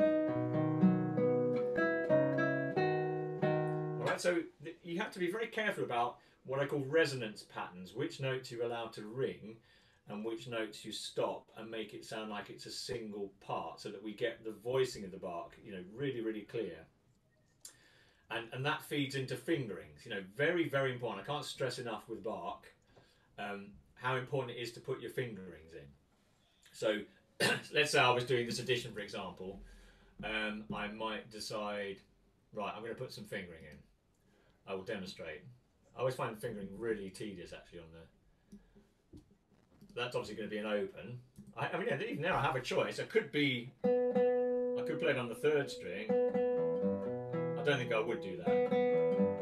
The open string is a bit of a gift. And then I will carry on into uh, this bit. I would probably do this.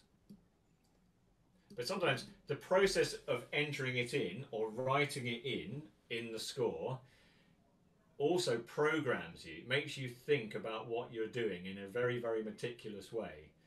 If you're a, a golfer, golfers walk the course before they play the course. They go along and they, they, they walk the, the fairways and the greens and they look at the lie of the green and you know where the curvature of the grass is and all this sort of stuff so that they can try and get an idea of the right path to you know to hit the ball in a sense, what we're doing is we're kind of getting to know every note in the equation at the beginning. Now I've got a choice. Could do 3 1 2, or I could do 4 2 3.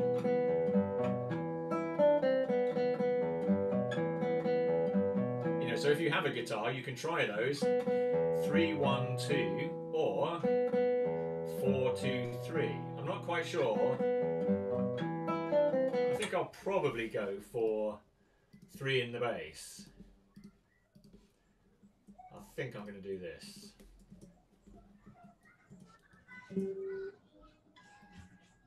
Shout if you can't see that. I can make it a bit bigger if necessary. in fact, I'll inflate the screen up just a little bit. There you are. Good for my eyesight actually as well. Okay, and then coming down, it's pretty straightforward, but I would probably use four on the D, like that.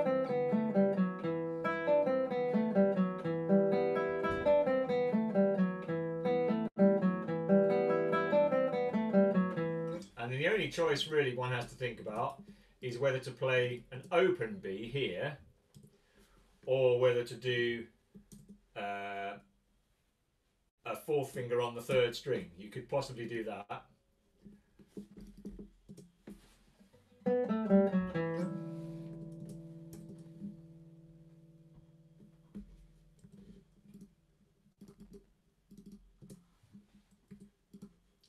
Next notes would be for me would be opens like that. So that's just a very small snippet of right hand fingering that I've put in.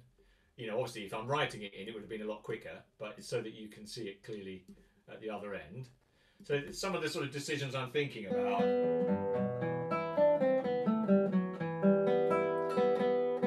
And I'm probably going to start with the middle on the first B and the index on this one. You know so it might be that I would write in say um, the index finger for the right hand up here. And that reminds me that I'm going to land on that note. And then I'm going to think, right, I'm going to start the E with the middle finger.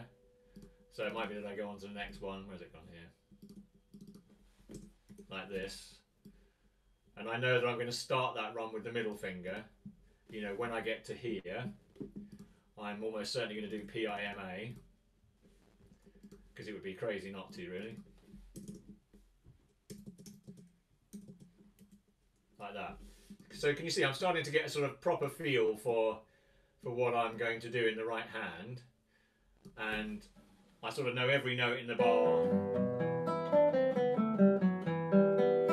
Alright, I've got everything written in. So when I come back to it tomorrow afternoon, I can sort of see what I did, what I wrote yesterday afternoon. Now I might think it's rubbish. I might think, oh, I don't like that fingering anymore. But at least I get a, a glimpse of what I was thinking and what I was trying and what I was exploring.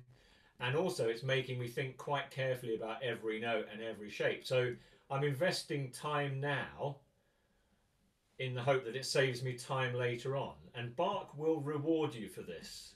I have this theory that it's almost like an act of duty. You have to go through it, you know, for like, it's like Bach's kind of saying to you, look, you just haven't spent enough time looking at my music carefully enough, so I'm not going to allow you to play it properly.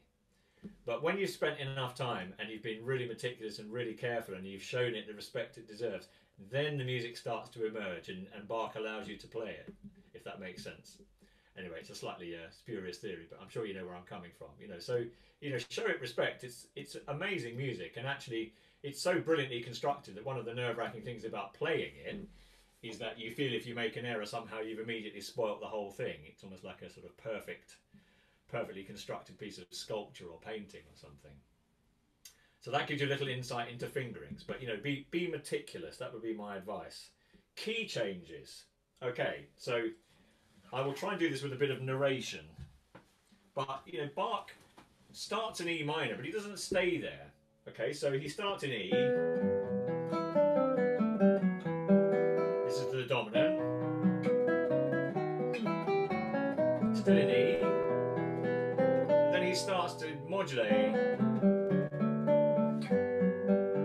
and he's moved to G. Okay, so that's our first our first movement. Our first chunk is in E minor, next movement is in G. Where's G in relation to E? G is a third above, the relative major. Okay, so he's moved to a different place. He's gone from one town to another. E minor,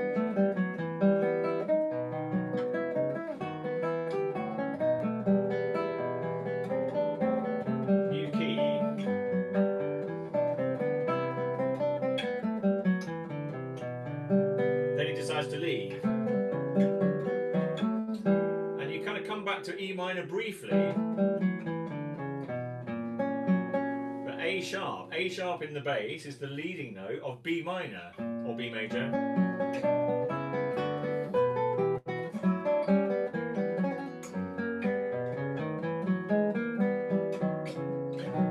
Okay, so then we arrive at the halfway point. Well, not quite the halfway point, but it's, you know, the dominant at this point. So we've gone from E minor to G major to B. All right, so and what's EGB? It's the triad of E minor. Can you see? So if you're trying to memorize things like this, which is often the case, Bach can seem like you know trying to, to memorize a telephone directory. You've got you've got to think of it in chunks and blocks because it modulates from one key to another. And as a as a result of that, you need to know where cadences are. Right? The the classic definition, the cadence is a point of rest at the end of a phrase or a piece of music. Okay, so we start off.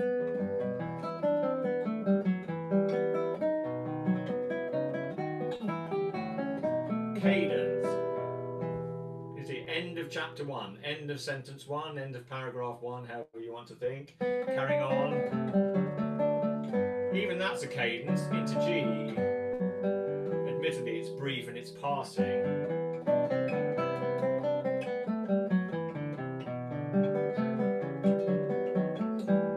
There's a sort of half cadence there.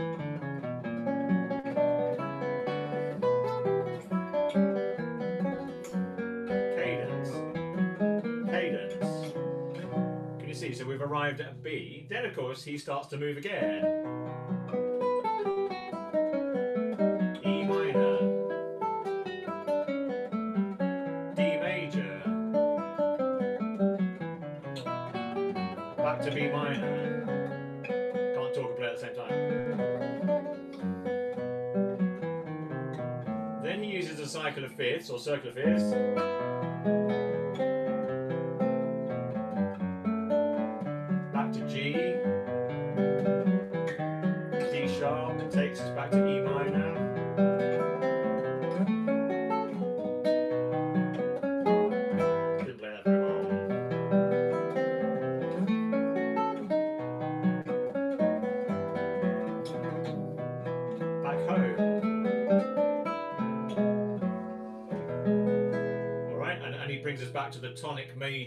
As opposed to the tonic minor at the beginning. But can you see it's a journey? So we're starting off E minor, G major, B major to the halfway point. Then he takes us briefly into D major. And of course, D major is the relative major of B minor, which is the minor dominant that you started off originally. So they're all they're all kind of related and connected to one another, all the key relationships. And if you can understand that in Bach, you know, understand the keys and the modulations and find the cadence points, and that really helps you to understand the sort of grammatical structure, if you like, and also the harmonic rhythm is very, very important because quite often the harmonic rhythm is moving in a very different way to the surface rhythm. We might hear a you know big row of semiquavers on the surface, but actually the harmony is changing maybe every minim beat, every semibreve, something like that. It's not moving always in the same way. So let's say we took the first bar.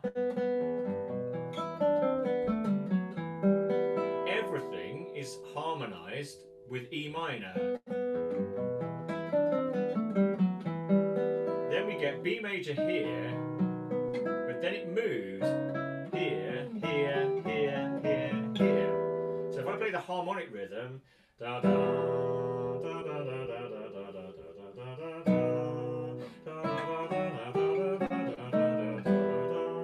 Can you hear underneath? That's the harmonic rhythm moving around, and the other stuff on the top is the decorative stuff made up of harmony notes, auxiliary notes, passing notes, etc., etc., which tells us how to carve out the shape and the contour of that line.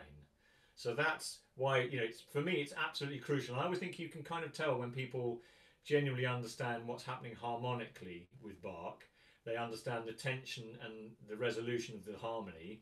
They understand cadence points, and they also understand that feeling of evolution that Bach has. It very much evolves and it builds and culminates quite often in climactic points later on, almost like a big building gradually being constructed. So, you know, be meticulous about that aspect of what you're doing.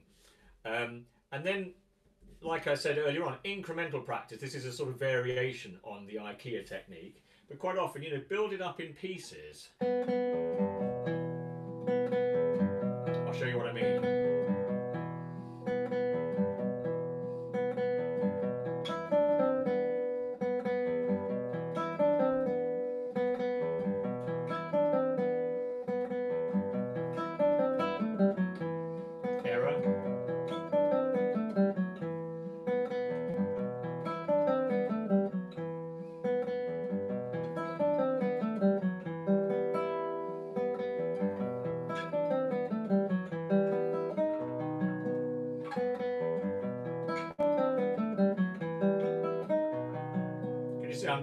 Practicing going to each new point and exploring the the architecture, the join technically, so that I can isolate and hopefully notice technical issues or problems as I'm going along and try and solve them sort of in real time. So it's literally like, you know, building something out of Lego.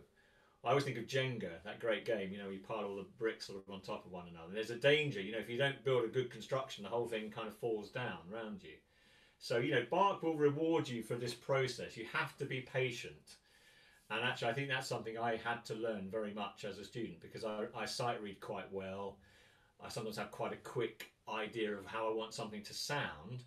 But actually, the process you have to go through to realize your vision of how you want something to sound is often very, very painstaking and slow and requires a lot of um, thought and meticulous attention to detail. And there's a sort of conflict between those two things. And I think you know Bach particularly makes you um, explore that aspect of your studying and, and your music making. Good. So I don't know whether that was uh, did justice to Bach, but anyway, that's uh, the end of my Bach chapter. So now I'm sort of on to talking a bit about Benga for the last you know 15, 20 minutes or so. Um, let me just have a quick look along through the questions in case there's some new ones. Uh, yeah, do you recommend listening to harpsichordists? Yeah, definitely. Always listen to other instrumentalists. My uh, my old uh, piano teacher used to recommend Landowska playing um, the Prelude, Fugue, and Allegro. Actually, there is a great recording of her playing on, on YouTube. It's obviously a historic recording. She plays the Allegro so fast as well. I mean, there's no way actually. I think on the guitar you could probably, even if you could play it that fast, whether it would sound good on the guitar at that speed is another whole issue.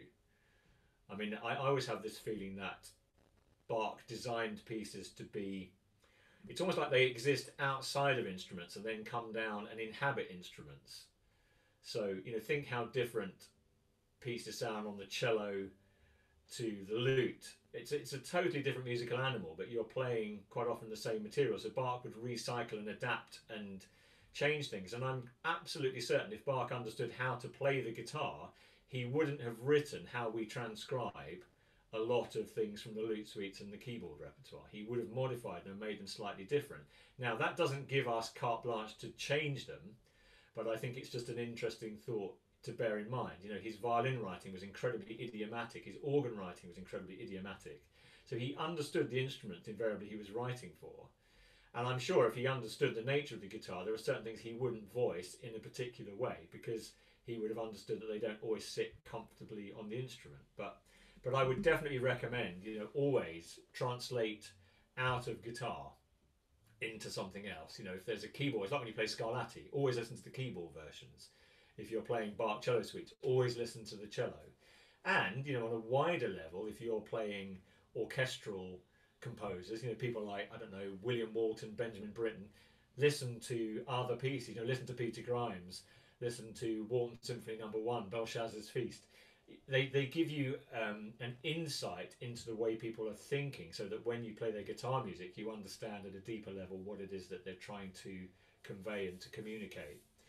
Um, Shamal yes I may not have time I may not have time to talk about all these things but yeah I'll try I'll try and do just a few sort of general thoughts. Um, I mean I know Vida also mentioned Rondo Rodeo um, as a possible thing but I think possibly just for today. I mean, maybe we can make this the source of another workshop at some later date, Vida, if um, if we don't get time to do everything today. You know, I can make it more composition focused.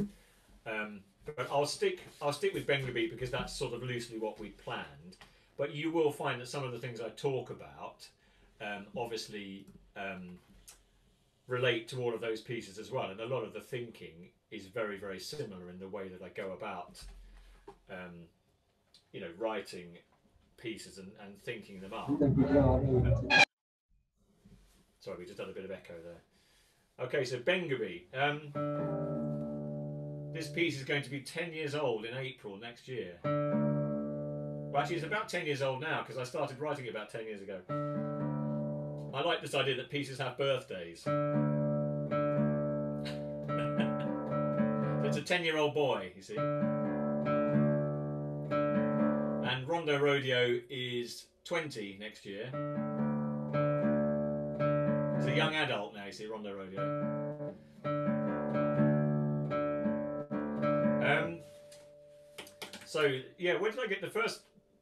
I got the idea for this piece. I can't quite remember what this... Well, actually, there was... Yeah, I won't go into details, but it, it slightly sprang out of a disappointment about something, which I won't kind of go into here at some point, but there was something I was kind of a bit disappointed about, and I just thought, I'm going to write this piece, you know, I'm going to it was it wasn't kind of um I'm not sure I was kind of sort of trying to prove something, but I just thought I'm really gonna I'm gonna really try and write an exciting concert piece. I did want it was quite egotistical, if I'm really honest. There was a slight element of that, but I always found it slightly frustrating on the guitar, and always have done that. There were lots of things I felt the guitar can do as an instrument, and I felt there were lots of things I was interested in as a musician that had absolutely no vehicle in the classical repertoire. You know, it was like I, I loved music and I loved the guitar, and there were just pieces that I sort of enjoyed playing, but just never ever allowed me to explore and display some of the things that I've gone on to use in the pieces that I've written. Now, of course, people will have mixed views on that, and that's perfectly normal and natural.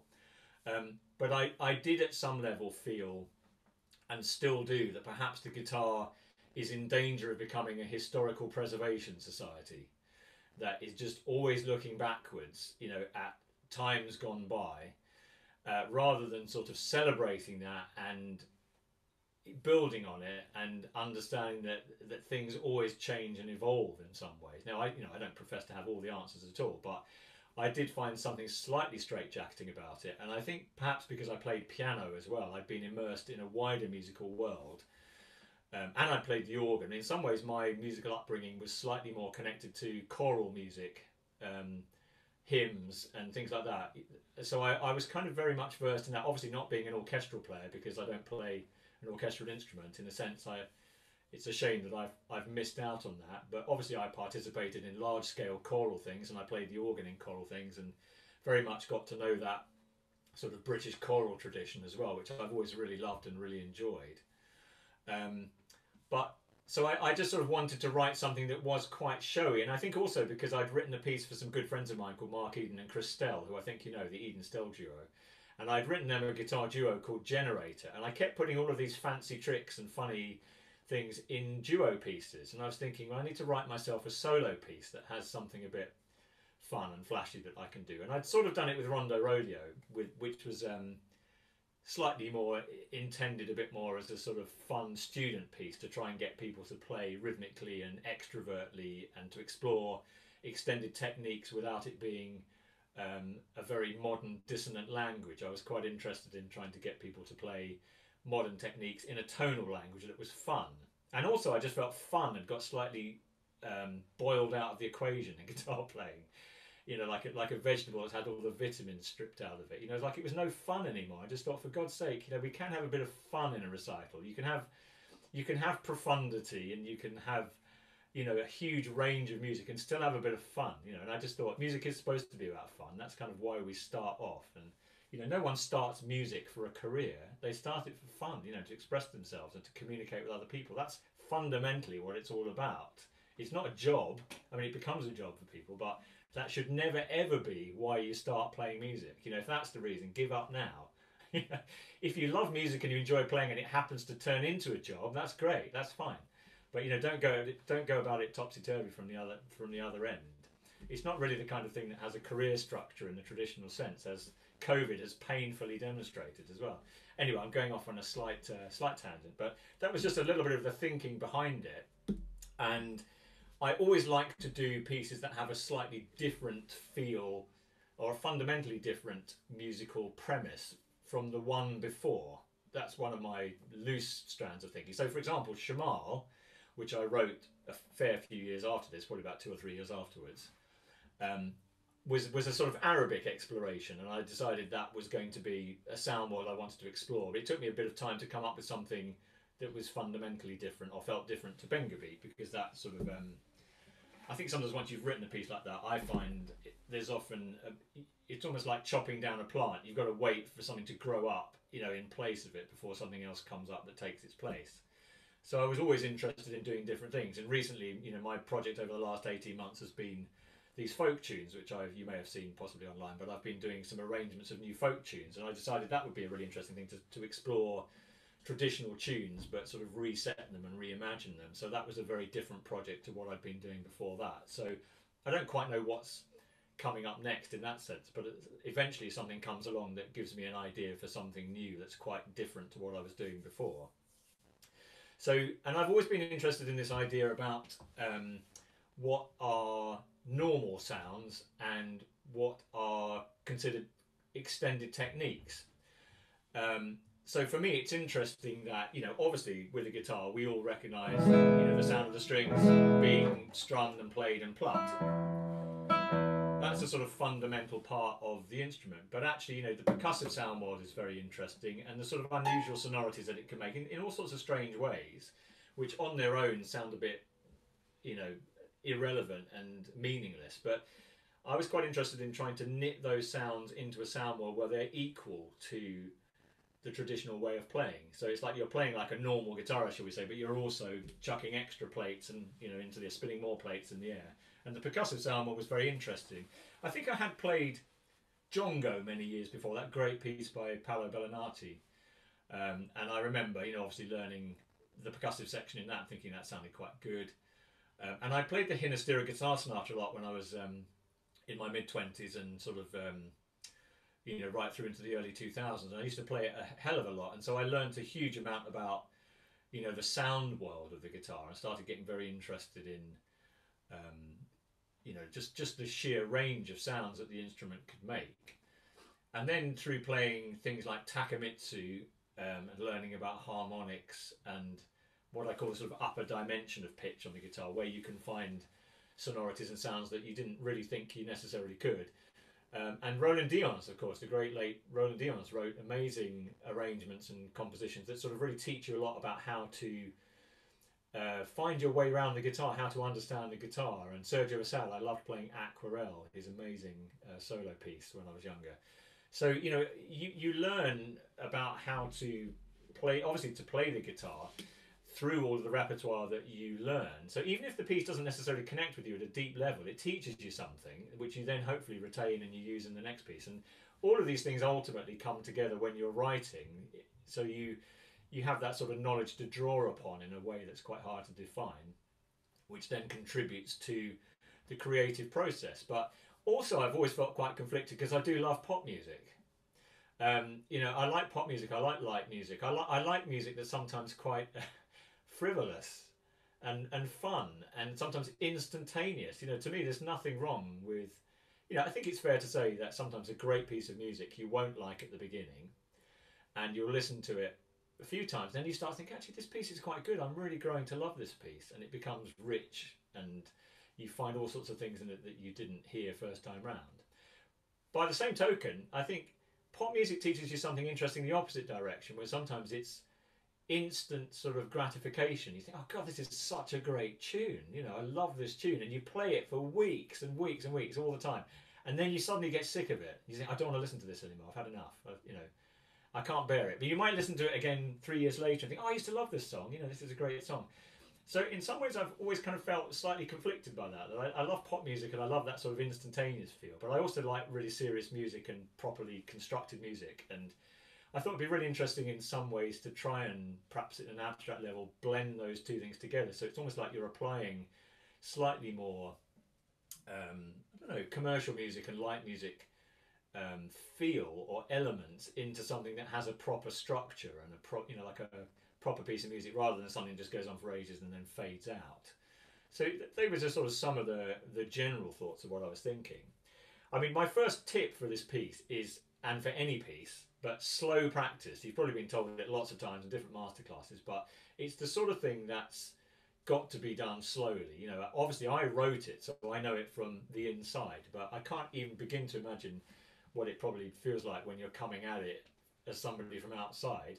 Obviously, I've done recordings of it on YouTube that help in terms of being able to watch and see what I'm doing. So, as a teaching tool, you know, that's an incredible thing to have at your disposal because I know people can go and play a bit, pause the button, you know, practice it, have a look again, and see what I'm doing. Um, just be aware a bit like Roland Dyens', you know, you don't always necessarily play exactly what you end up printing in your printed music, but it's always a good it's a good guide if you're watching me play it. It's probably pretty close to what I intended. So you know, I would advise lots and lots of slow practice. Um, the metronome is absolutely crucial. You know, it's a very very rhythmic piece, and it just sit pretty much sits in a groove all the way through, which is exactly the same You know, so once you get your main, do you know I haven't played this piece for a long time. In lockdown, I've had a really good rest on this piece. It's quite weird coming back to it a few days ago.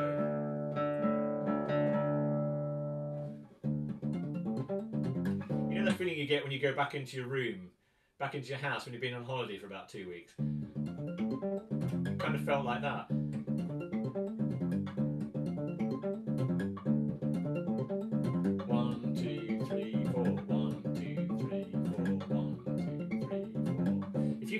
Out loud while you're playing that groove, that's that's quite a good sign. But there's no harm in going.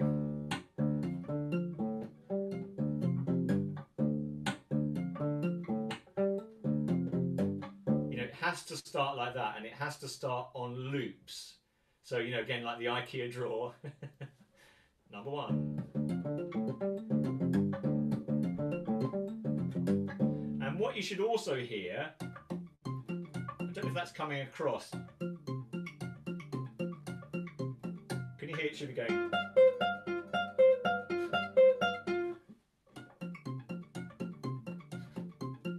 Now I like those sounds. Maybe I'm just a bit weird, but I like that sound. I used them in another piece actually, Junglescape, which was sort of um, bird noises, animal noises, insect noises. They sound like little creatures. So when you're playing this, you're supposed to hear, but you're also supposed to hear that as well in the background. So it's like you get you get a sort of foreground sound and a background noise. So if I over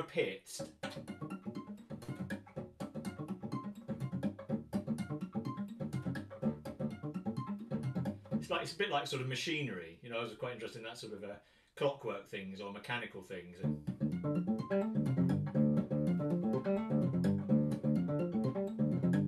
And the taps. I mean, quite often the taps, they're as much about creating rests as they are tapping. You know, if I if I want to play that note short, I can't do it with the thumb, so I've got to do it with the left hand. And they happen to sometimes just create very casual light taps. You know, so I would, you build them up very, very slowly and practice looping bars. And I've written here, say the rhythm before attempting to play it. So I have a saying with my students where I say, say it, don't play it. All right, so let's say we took that rhythm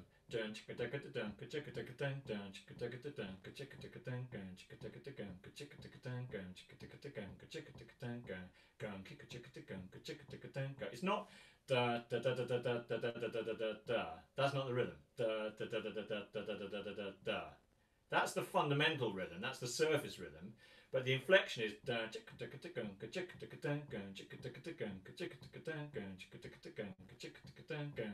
like that. So you can sometimes find a way of saying a rhythm that gives you the right feel for the thing. And quite often, you, you know, your your brain and your your brain is ahead of your fingers. So sometimes you can see and understand a rhythm before you can physically play it. So get the thought right in your head before you try and play it. Don't, don't let your fingers start to dictate how it should sound. Think how you want it to sound and then start trying to get your fingers to do what the idea is in your head. Now, obviously, with a piece like this, it's a bit like a jigsaw. You're trying to piece it together very slowly, and I appreciate, you know, there's a lot of information. When you get it moving, you know, the individual elements themselves aren't that tricky to play. What makes this piece perhaps hard, I, I mean, and I found this myself, is it's the quick thinking. You, you need to be very quick at thinking what's coming next and knowing what's coming next. And actually, also having said that, if you think about it too much, you can't do it anymore. you know, if I suddenly start thinking about every individual unit, you know, and where I'm going, I, I all of a sudden I can't do it. It has to be like riding a bike. That was another sound I was, I used to think this sounded a bit like bicycles. You know when you have squeaky pedals or old, you know, like spokes of wheels going around and things like that. So there's a sort of loosely mechanical feel. I toyed with singing at the beginning actually, which I didn't do in the end, but because I like the lower line.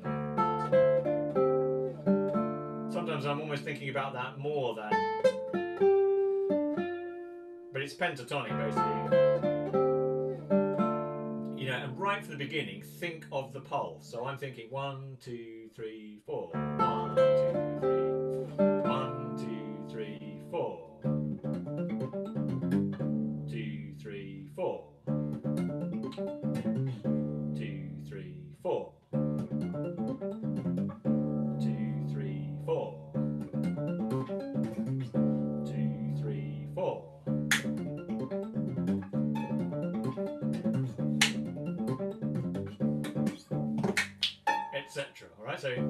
the slow part.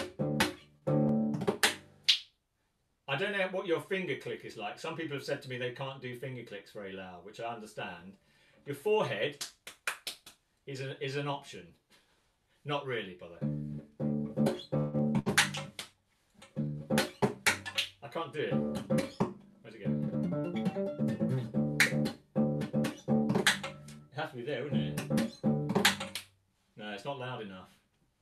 My friend Gordon Dunn wrote a piece for guitar, sonata for guitar and forehead. See, that could be a good piece. That's, that's sort of where I get ideas from. There's a slight element of comedy. You know, wouldn't it be a bit mad if you did this? And then you try it, and sometimes it's not quite as mad as you think. You think, actually, this is quite good. Most of the great things, generally, I was thinking, life have come from people who are slightly mad. or, or other people think they're mad. People thought Einstein was mad. But actually, sometimes you need to be mad to think like that. I think there's always been a sort of slightly, you know, a slight element of that that um, little boy thing. You know when um, you know when your parents tell you not to do something, and you look at them and you kind of go, "I wonder what would happen if I did that thing they told me not to do." And then they do it, you know, and they sort of get told off. I've kind of that sort of I think that stayed with me at some fundamental le- level. I always joke that I'm a sort of six-year-old boy trapped in a 51-year-old's body.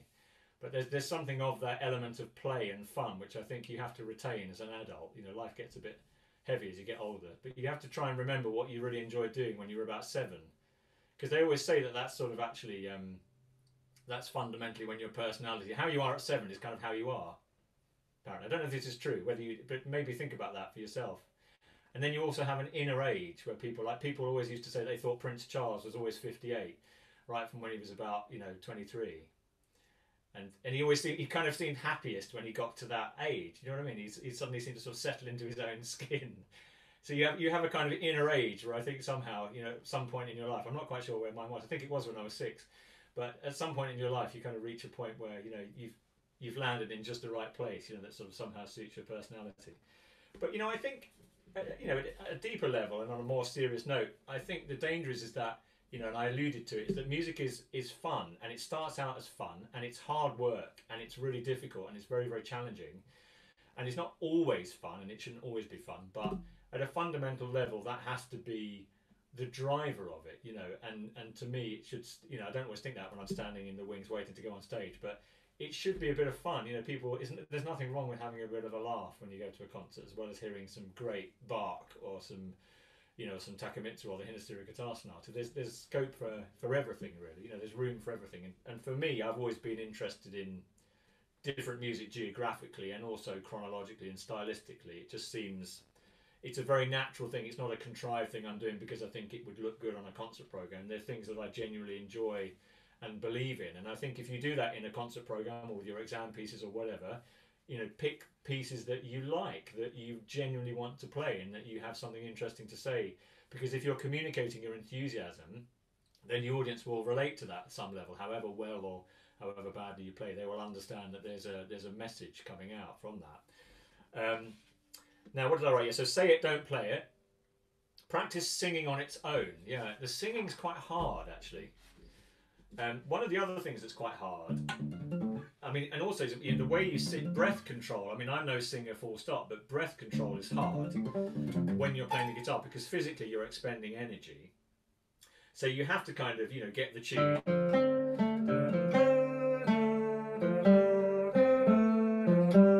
You know, practice it on its own. Just get it up and running. Or you could maybe, if you've got to the point where you can play some of it, if you can play the groove underneath, it goes.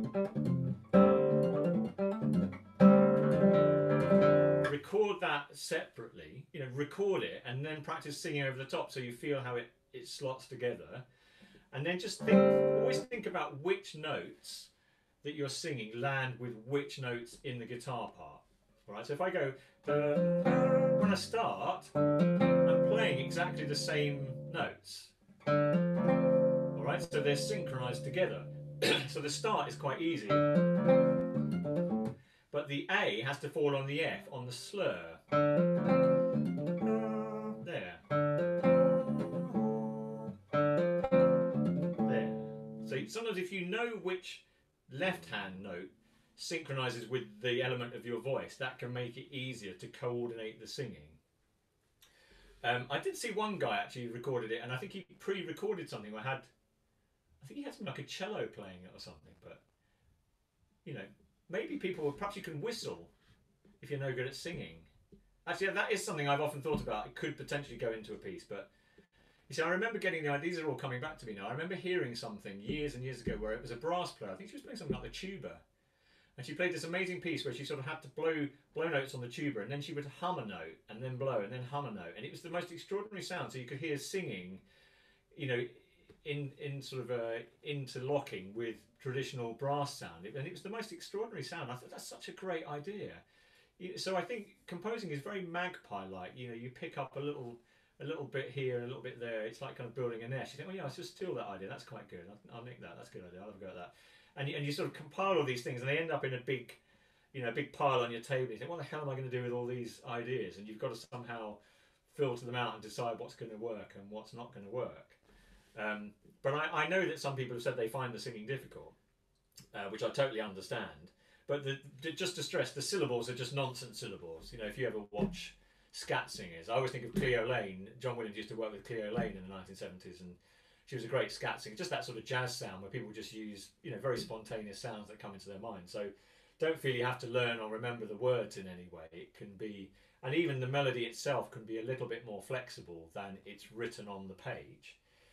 There are places later on when it goes. Da, da, da, the right hand is playing the tune.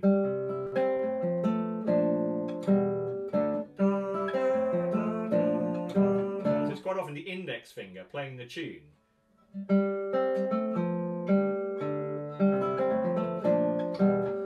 So sometimes I'll focus in on very specific stepping stones inside the guitar part that help me think about where the tune is.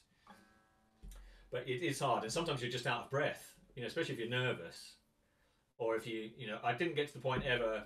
I mean, I played this quite a lot actually in six hands, but I never got to the point where um, I think I had a cough, quite a bad cough.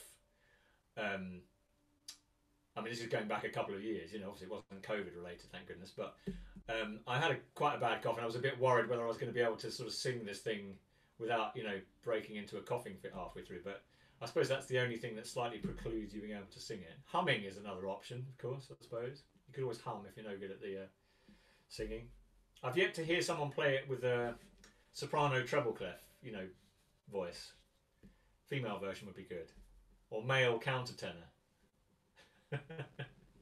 like Blackadder. Um, what have I got next? Yes, I've talked about them, the melody doubling. Quintuplets. Great word for quintuplets, hippopotamus. So, for example, in bar 65, hippopotamus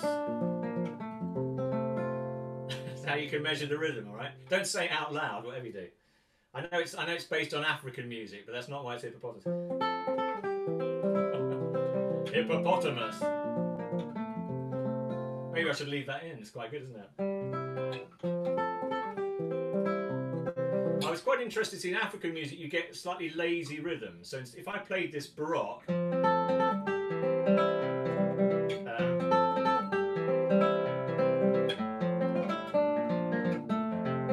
it's quite sort of you know strict in a way, and African rhythms are quite lazy.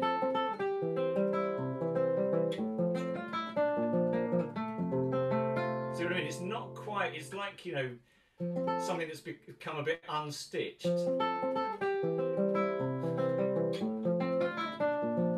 You have to play it like you almost can't play it.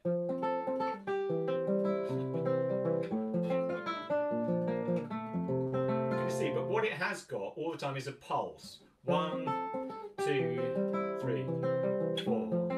One, two, three. You see? So you've always got a main beat, but what happens sometimes in the middle can be just a little bit more um, bendy and elastic than it looks on the page. So just just be aware of that because I always feel from 62 when it goes into that F major passage.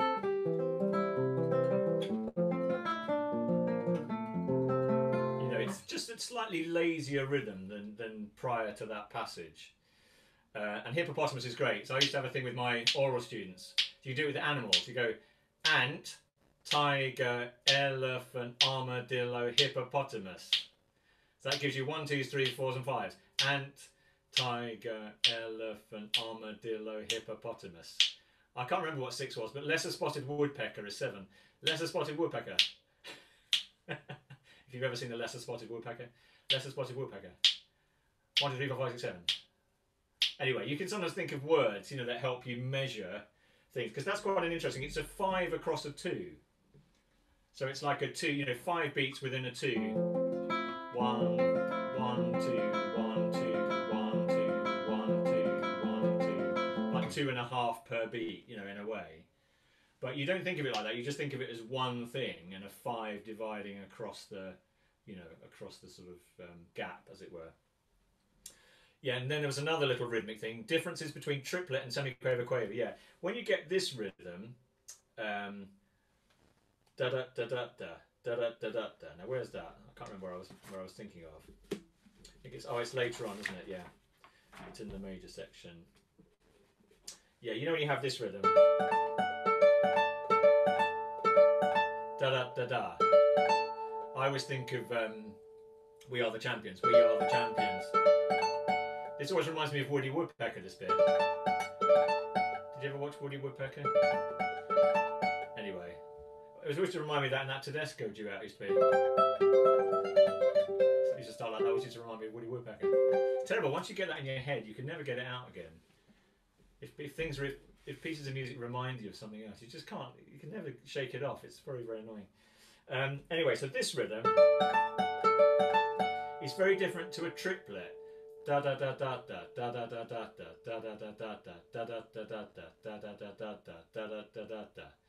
Just be aware of that because it's mathematically they're incredibly close. If you think of a triplet, da da da da da da da da da da da da and you think 0, 33.3, 66.6, 100.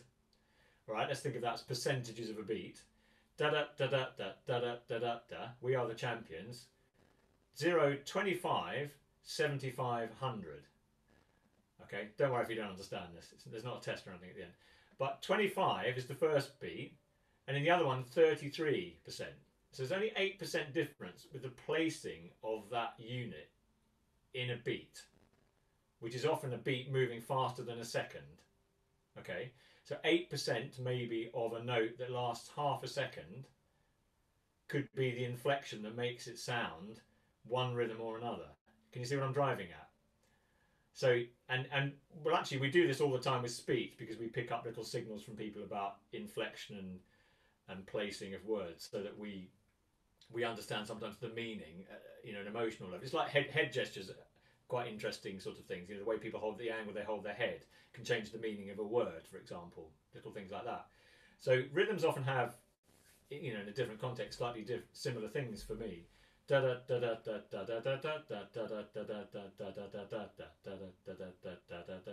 You get it a lot in Latin music as well. That um, and then having said that, sometimes the triplet is more elastic. Da da da da da da da da da da. It can be a more expressive thing, but just you know be very meticulous about those rhythmic properties because I've always thought that rhythm has has an emotional property. So we tend to think of notes as the emotional things, but actually the placing and the inflection of the note is what gives it the meaning, which is what makes it mean one emotion or another, or one energy or another. So you know that that for me that's why rhythm is meticulously you have to be really meticulous about it and it's so important. It's like the sort of framework and the scaffold on which everything hangs, or like um, you know, a magnetic field is another one I often use as a sort of analogy. It's a sort of hidden force in the background that kind of keeps everything really, really nicely in position. Okay, bar one, two, six. I'm nearly there. Last two points. Um, yeah, this one's probably the hardest one to work out. Was the one where people have to do the that one, which is bar one, two, six and I was just going to show you how that um, how that worked in slow motion because people have often found that quite tricky. I mean, the first thing is, is that there's a sort of action where you you strike the fingerboard at the 12th fret. Those of you old enough like me to remember Mark King from the 1980s, level 42, great bass player, like this sort of popping bass sound, which I could never do, but he was always really good at it. It's, it's almost like a sound where you hit and you pluck at the same time. So the first thing is this left hand. So there's two taps. Then you touch 12th fret. So again, think of Brouwer's piece, a Cuban landscape with bells. That's sort of where I remember first learning that technique. You know, where you did the the right hand comes over and taps the strings uh, on the fingerboard. You know, great sound. I thought that's a really interesting sound. I'll kind of store that away. But you've got to land accurately because, of course, you can miss. You can fall off the guitar altogether.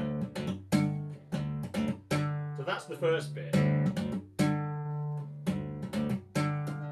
Then what happens is the left hand has to hammer on at the third fret on the sixth string. So that's the first bit. So here's the slow-mo version. Then once you've done that, the right hand slurs. That's the one that slurs. So it's the right hand pulling off, you know, like it would do plucking, but it feels like a slur. And after you've done that, the left hand hammers the G.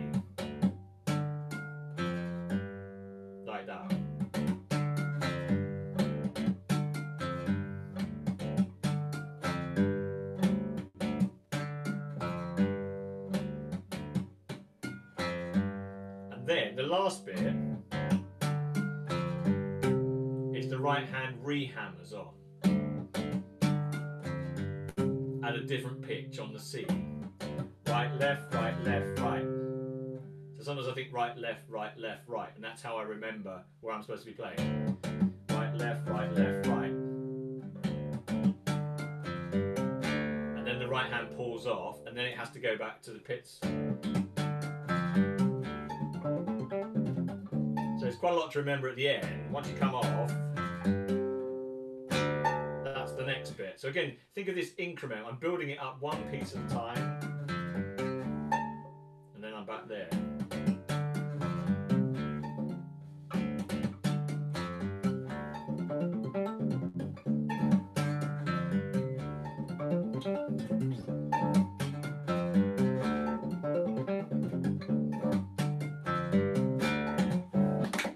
So that was that passage there. I don't know if that, you know, some of you are looking at it, you might find that helps.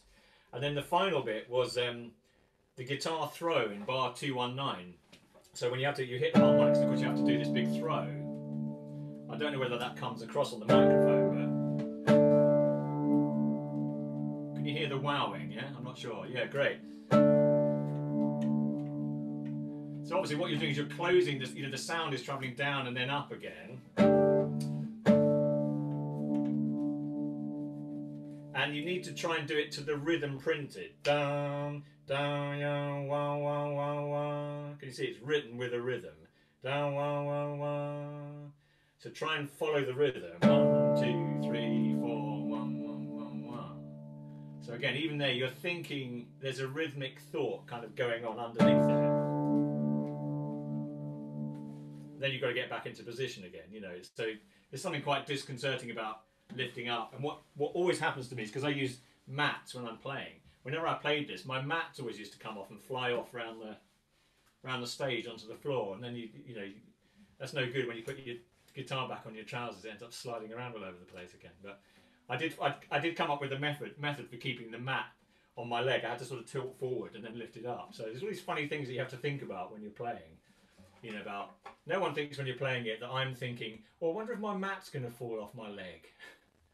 You know, quite often performing involves strange, abstract thoughts like that. You know, oh, I've got an itchy ear or you know, oh god, I've got a cramp in my left foot. You know, something strange like that that happens. People think you're there in this sort of magical world, experiencing, you know, all this wonderful art and everything. Sometimes it's sometimes you just think, I'm hungry. God, I'm really hungry. I need something to eat. You know. I'm sure there's a whole. Uh, someone's probably done it already, but a whole comedy sketch and just the sort of narration of your own recital as you're going along and what's actually going on on that kind of inner monologue. Maybe I should do that on my YouTube channel. Um, so you know, just a few very general thoughts about that. But I find obviously you just need to make sure you hold onto your guitar properly because you don't want it ending up flying out to the front row of the audience. But just tilt it down and, and up, and it was you know, and just make sure that you're in a good position to be able to get back. Quite, it's quite easy just to throw it out and just put your hand back into position. Even that element of it, you can practice. You see, so it's a lot of it's just basic rehearsing of the of the units, but I've never had to learn this piece other than it's it's weird when you write it yourself because in a sense it's sort of designed to do things that you find quite idiomatic and natural anyway within your own playing. Um, so I can't quite imagine what it must feel like. I mean, I've done similar things with other people's pieces where I've had to work out, you know, the and decipher them before you play. But I think that's what makes it tricky. There's a lot of deciphering needed before you start playing it. But my advice is just to practice individual, you know, each bar in a strange kind of way quite often is an exercise in its own right or can become a sort of exercise in its own right. And you know, and if you can't quite work it out, just go and have a look at the, the video on YouTube and see if you can decipher it from, from what I'm doing on there. Um, the funny thing was when I recorded that, I'd, I'd not actually written a note of the piece down. It was all in my head. So um, I just sort of quite spontaneously decided to to do it at that point in time. But there are there are a few very subtle differences with what I finally ended up notating, but it's pretty much the same the same thing. Um, but I don't know how many times I've played that piece now, probably quite a few. Uh, but actually, it was very nice just to give it a rest. I mean, COVID obviously forced that on me in a way, but I thought um, I'm going to give those pieces a really good rest now because there was no imperative to have to play them. And actually, in the process, you know, I've I've written some new or added some new folk arrangements. I've done a Bach cello suite transcription. You know, done some new things, which creatively is, I think it's really important to renew and um, you know to learn new things. Otherwise, you just become very good at playing your old pieces all the time. Um, but you, you don't sort of develop your playing in some way. So you know, always have something new on the go, even if you've got a program up and running. You know, that's that's polished. Good. Now let's have a quick look at our. Uh, yeah, generators. Again, I'll, I'll, have to talk. I think what we'll do is I'll, I'll, have a chat with Vida. We can talk about this another time. I'll do another workshop at some point with, um, uh, you know, discussing some of the ideas in, in, a few of the other pieces. If if you find there's enough interest and and uh, and demand for that. There's always demand. And yeah, okay. Because we people are mentioning things like generator and Shamal, and actually I've got the score from the Shamal is quite is going to be ready quite soon, so that could be more useful when that's finally done. Uh, how do I emphasise and why the left-hand bicycle sound so much? Um, well, I think it's just you just have to find the sweet spot. You know, if you if you hammer a note and you gradually introduce pizzicato in the right hand, you start to hear a mixture of the note you're hammering onto and the noise. The noise comes from behind the fret. Basically, it's this sound at that end. So what's happening is the string is vibrating on the frets behind the finger so obviously you don't want that to be too loud if you're playing Bach, you know, or something like that. You want to hammer that on so we hear that noise. But for me, I thought it was quite interesting because it creates a pitch, and I was thinking, ah, well, I could use that pitch.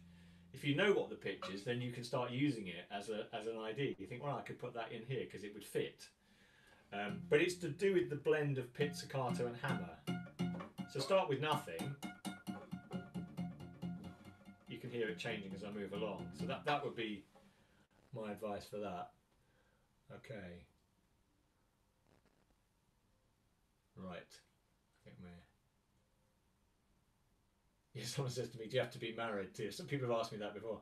Do you have to be married to for the wedding ring on the side? You put a ring on any finger. Some people are good. I've got actually I've got quite a good double joint on my on my that's my little finger. I mean, there are some you can create loud sounds other ways, but actually, funny enough, I wrote an ensemble piece in the UK for a youth ensemble, and they had to use rings, but they had these little wooden ones that they put on another finger. So yeah, you doesn't you don't have to be married. Don't get married just for this piece. Christ, that would be a disaster. I'd really like to play Beat, but I'm not married. Uh, would you like to marry me? Thank you very much. I can play it now. what a surreal thought. I never thought of that. but uh, yes, it's just a happy accident. Just a happy, and and my finger got so fat I couldn't take it off. Any married man there will identify with that one. Although actually recently during lockdown, actually I did manage to kind of I took my wedding ring off the other day. It came off. I must have lost a bit of weight with all that walking I've been doing. My daughter was amazed. She goes, "God, that was quick." Goes, anyway, on that slightly surreal note, the workshop will now end.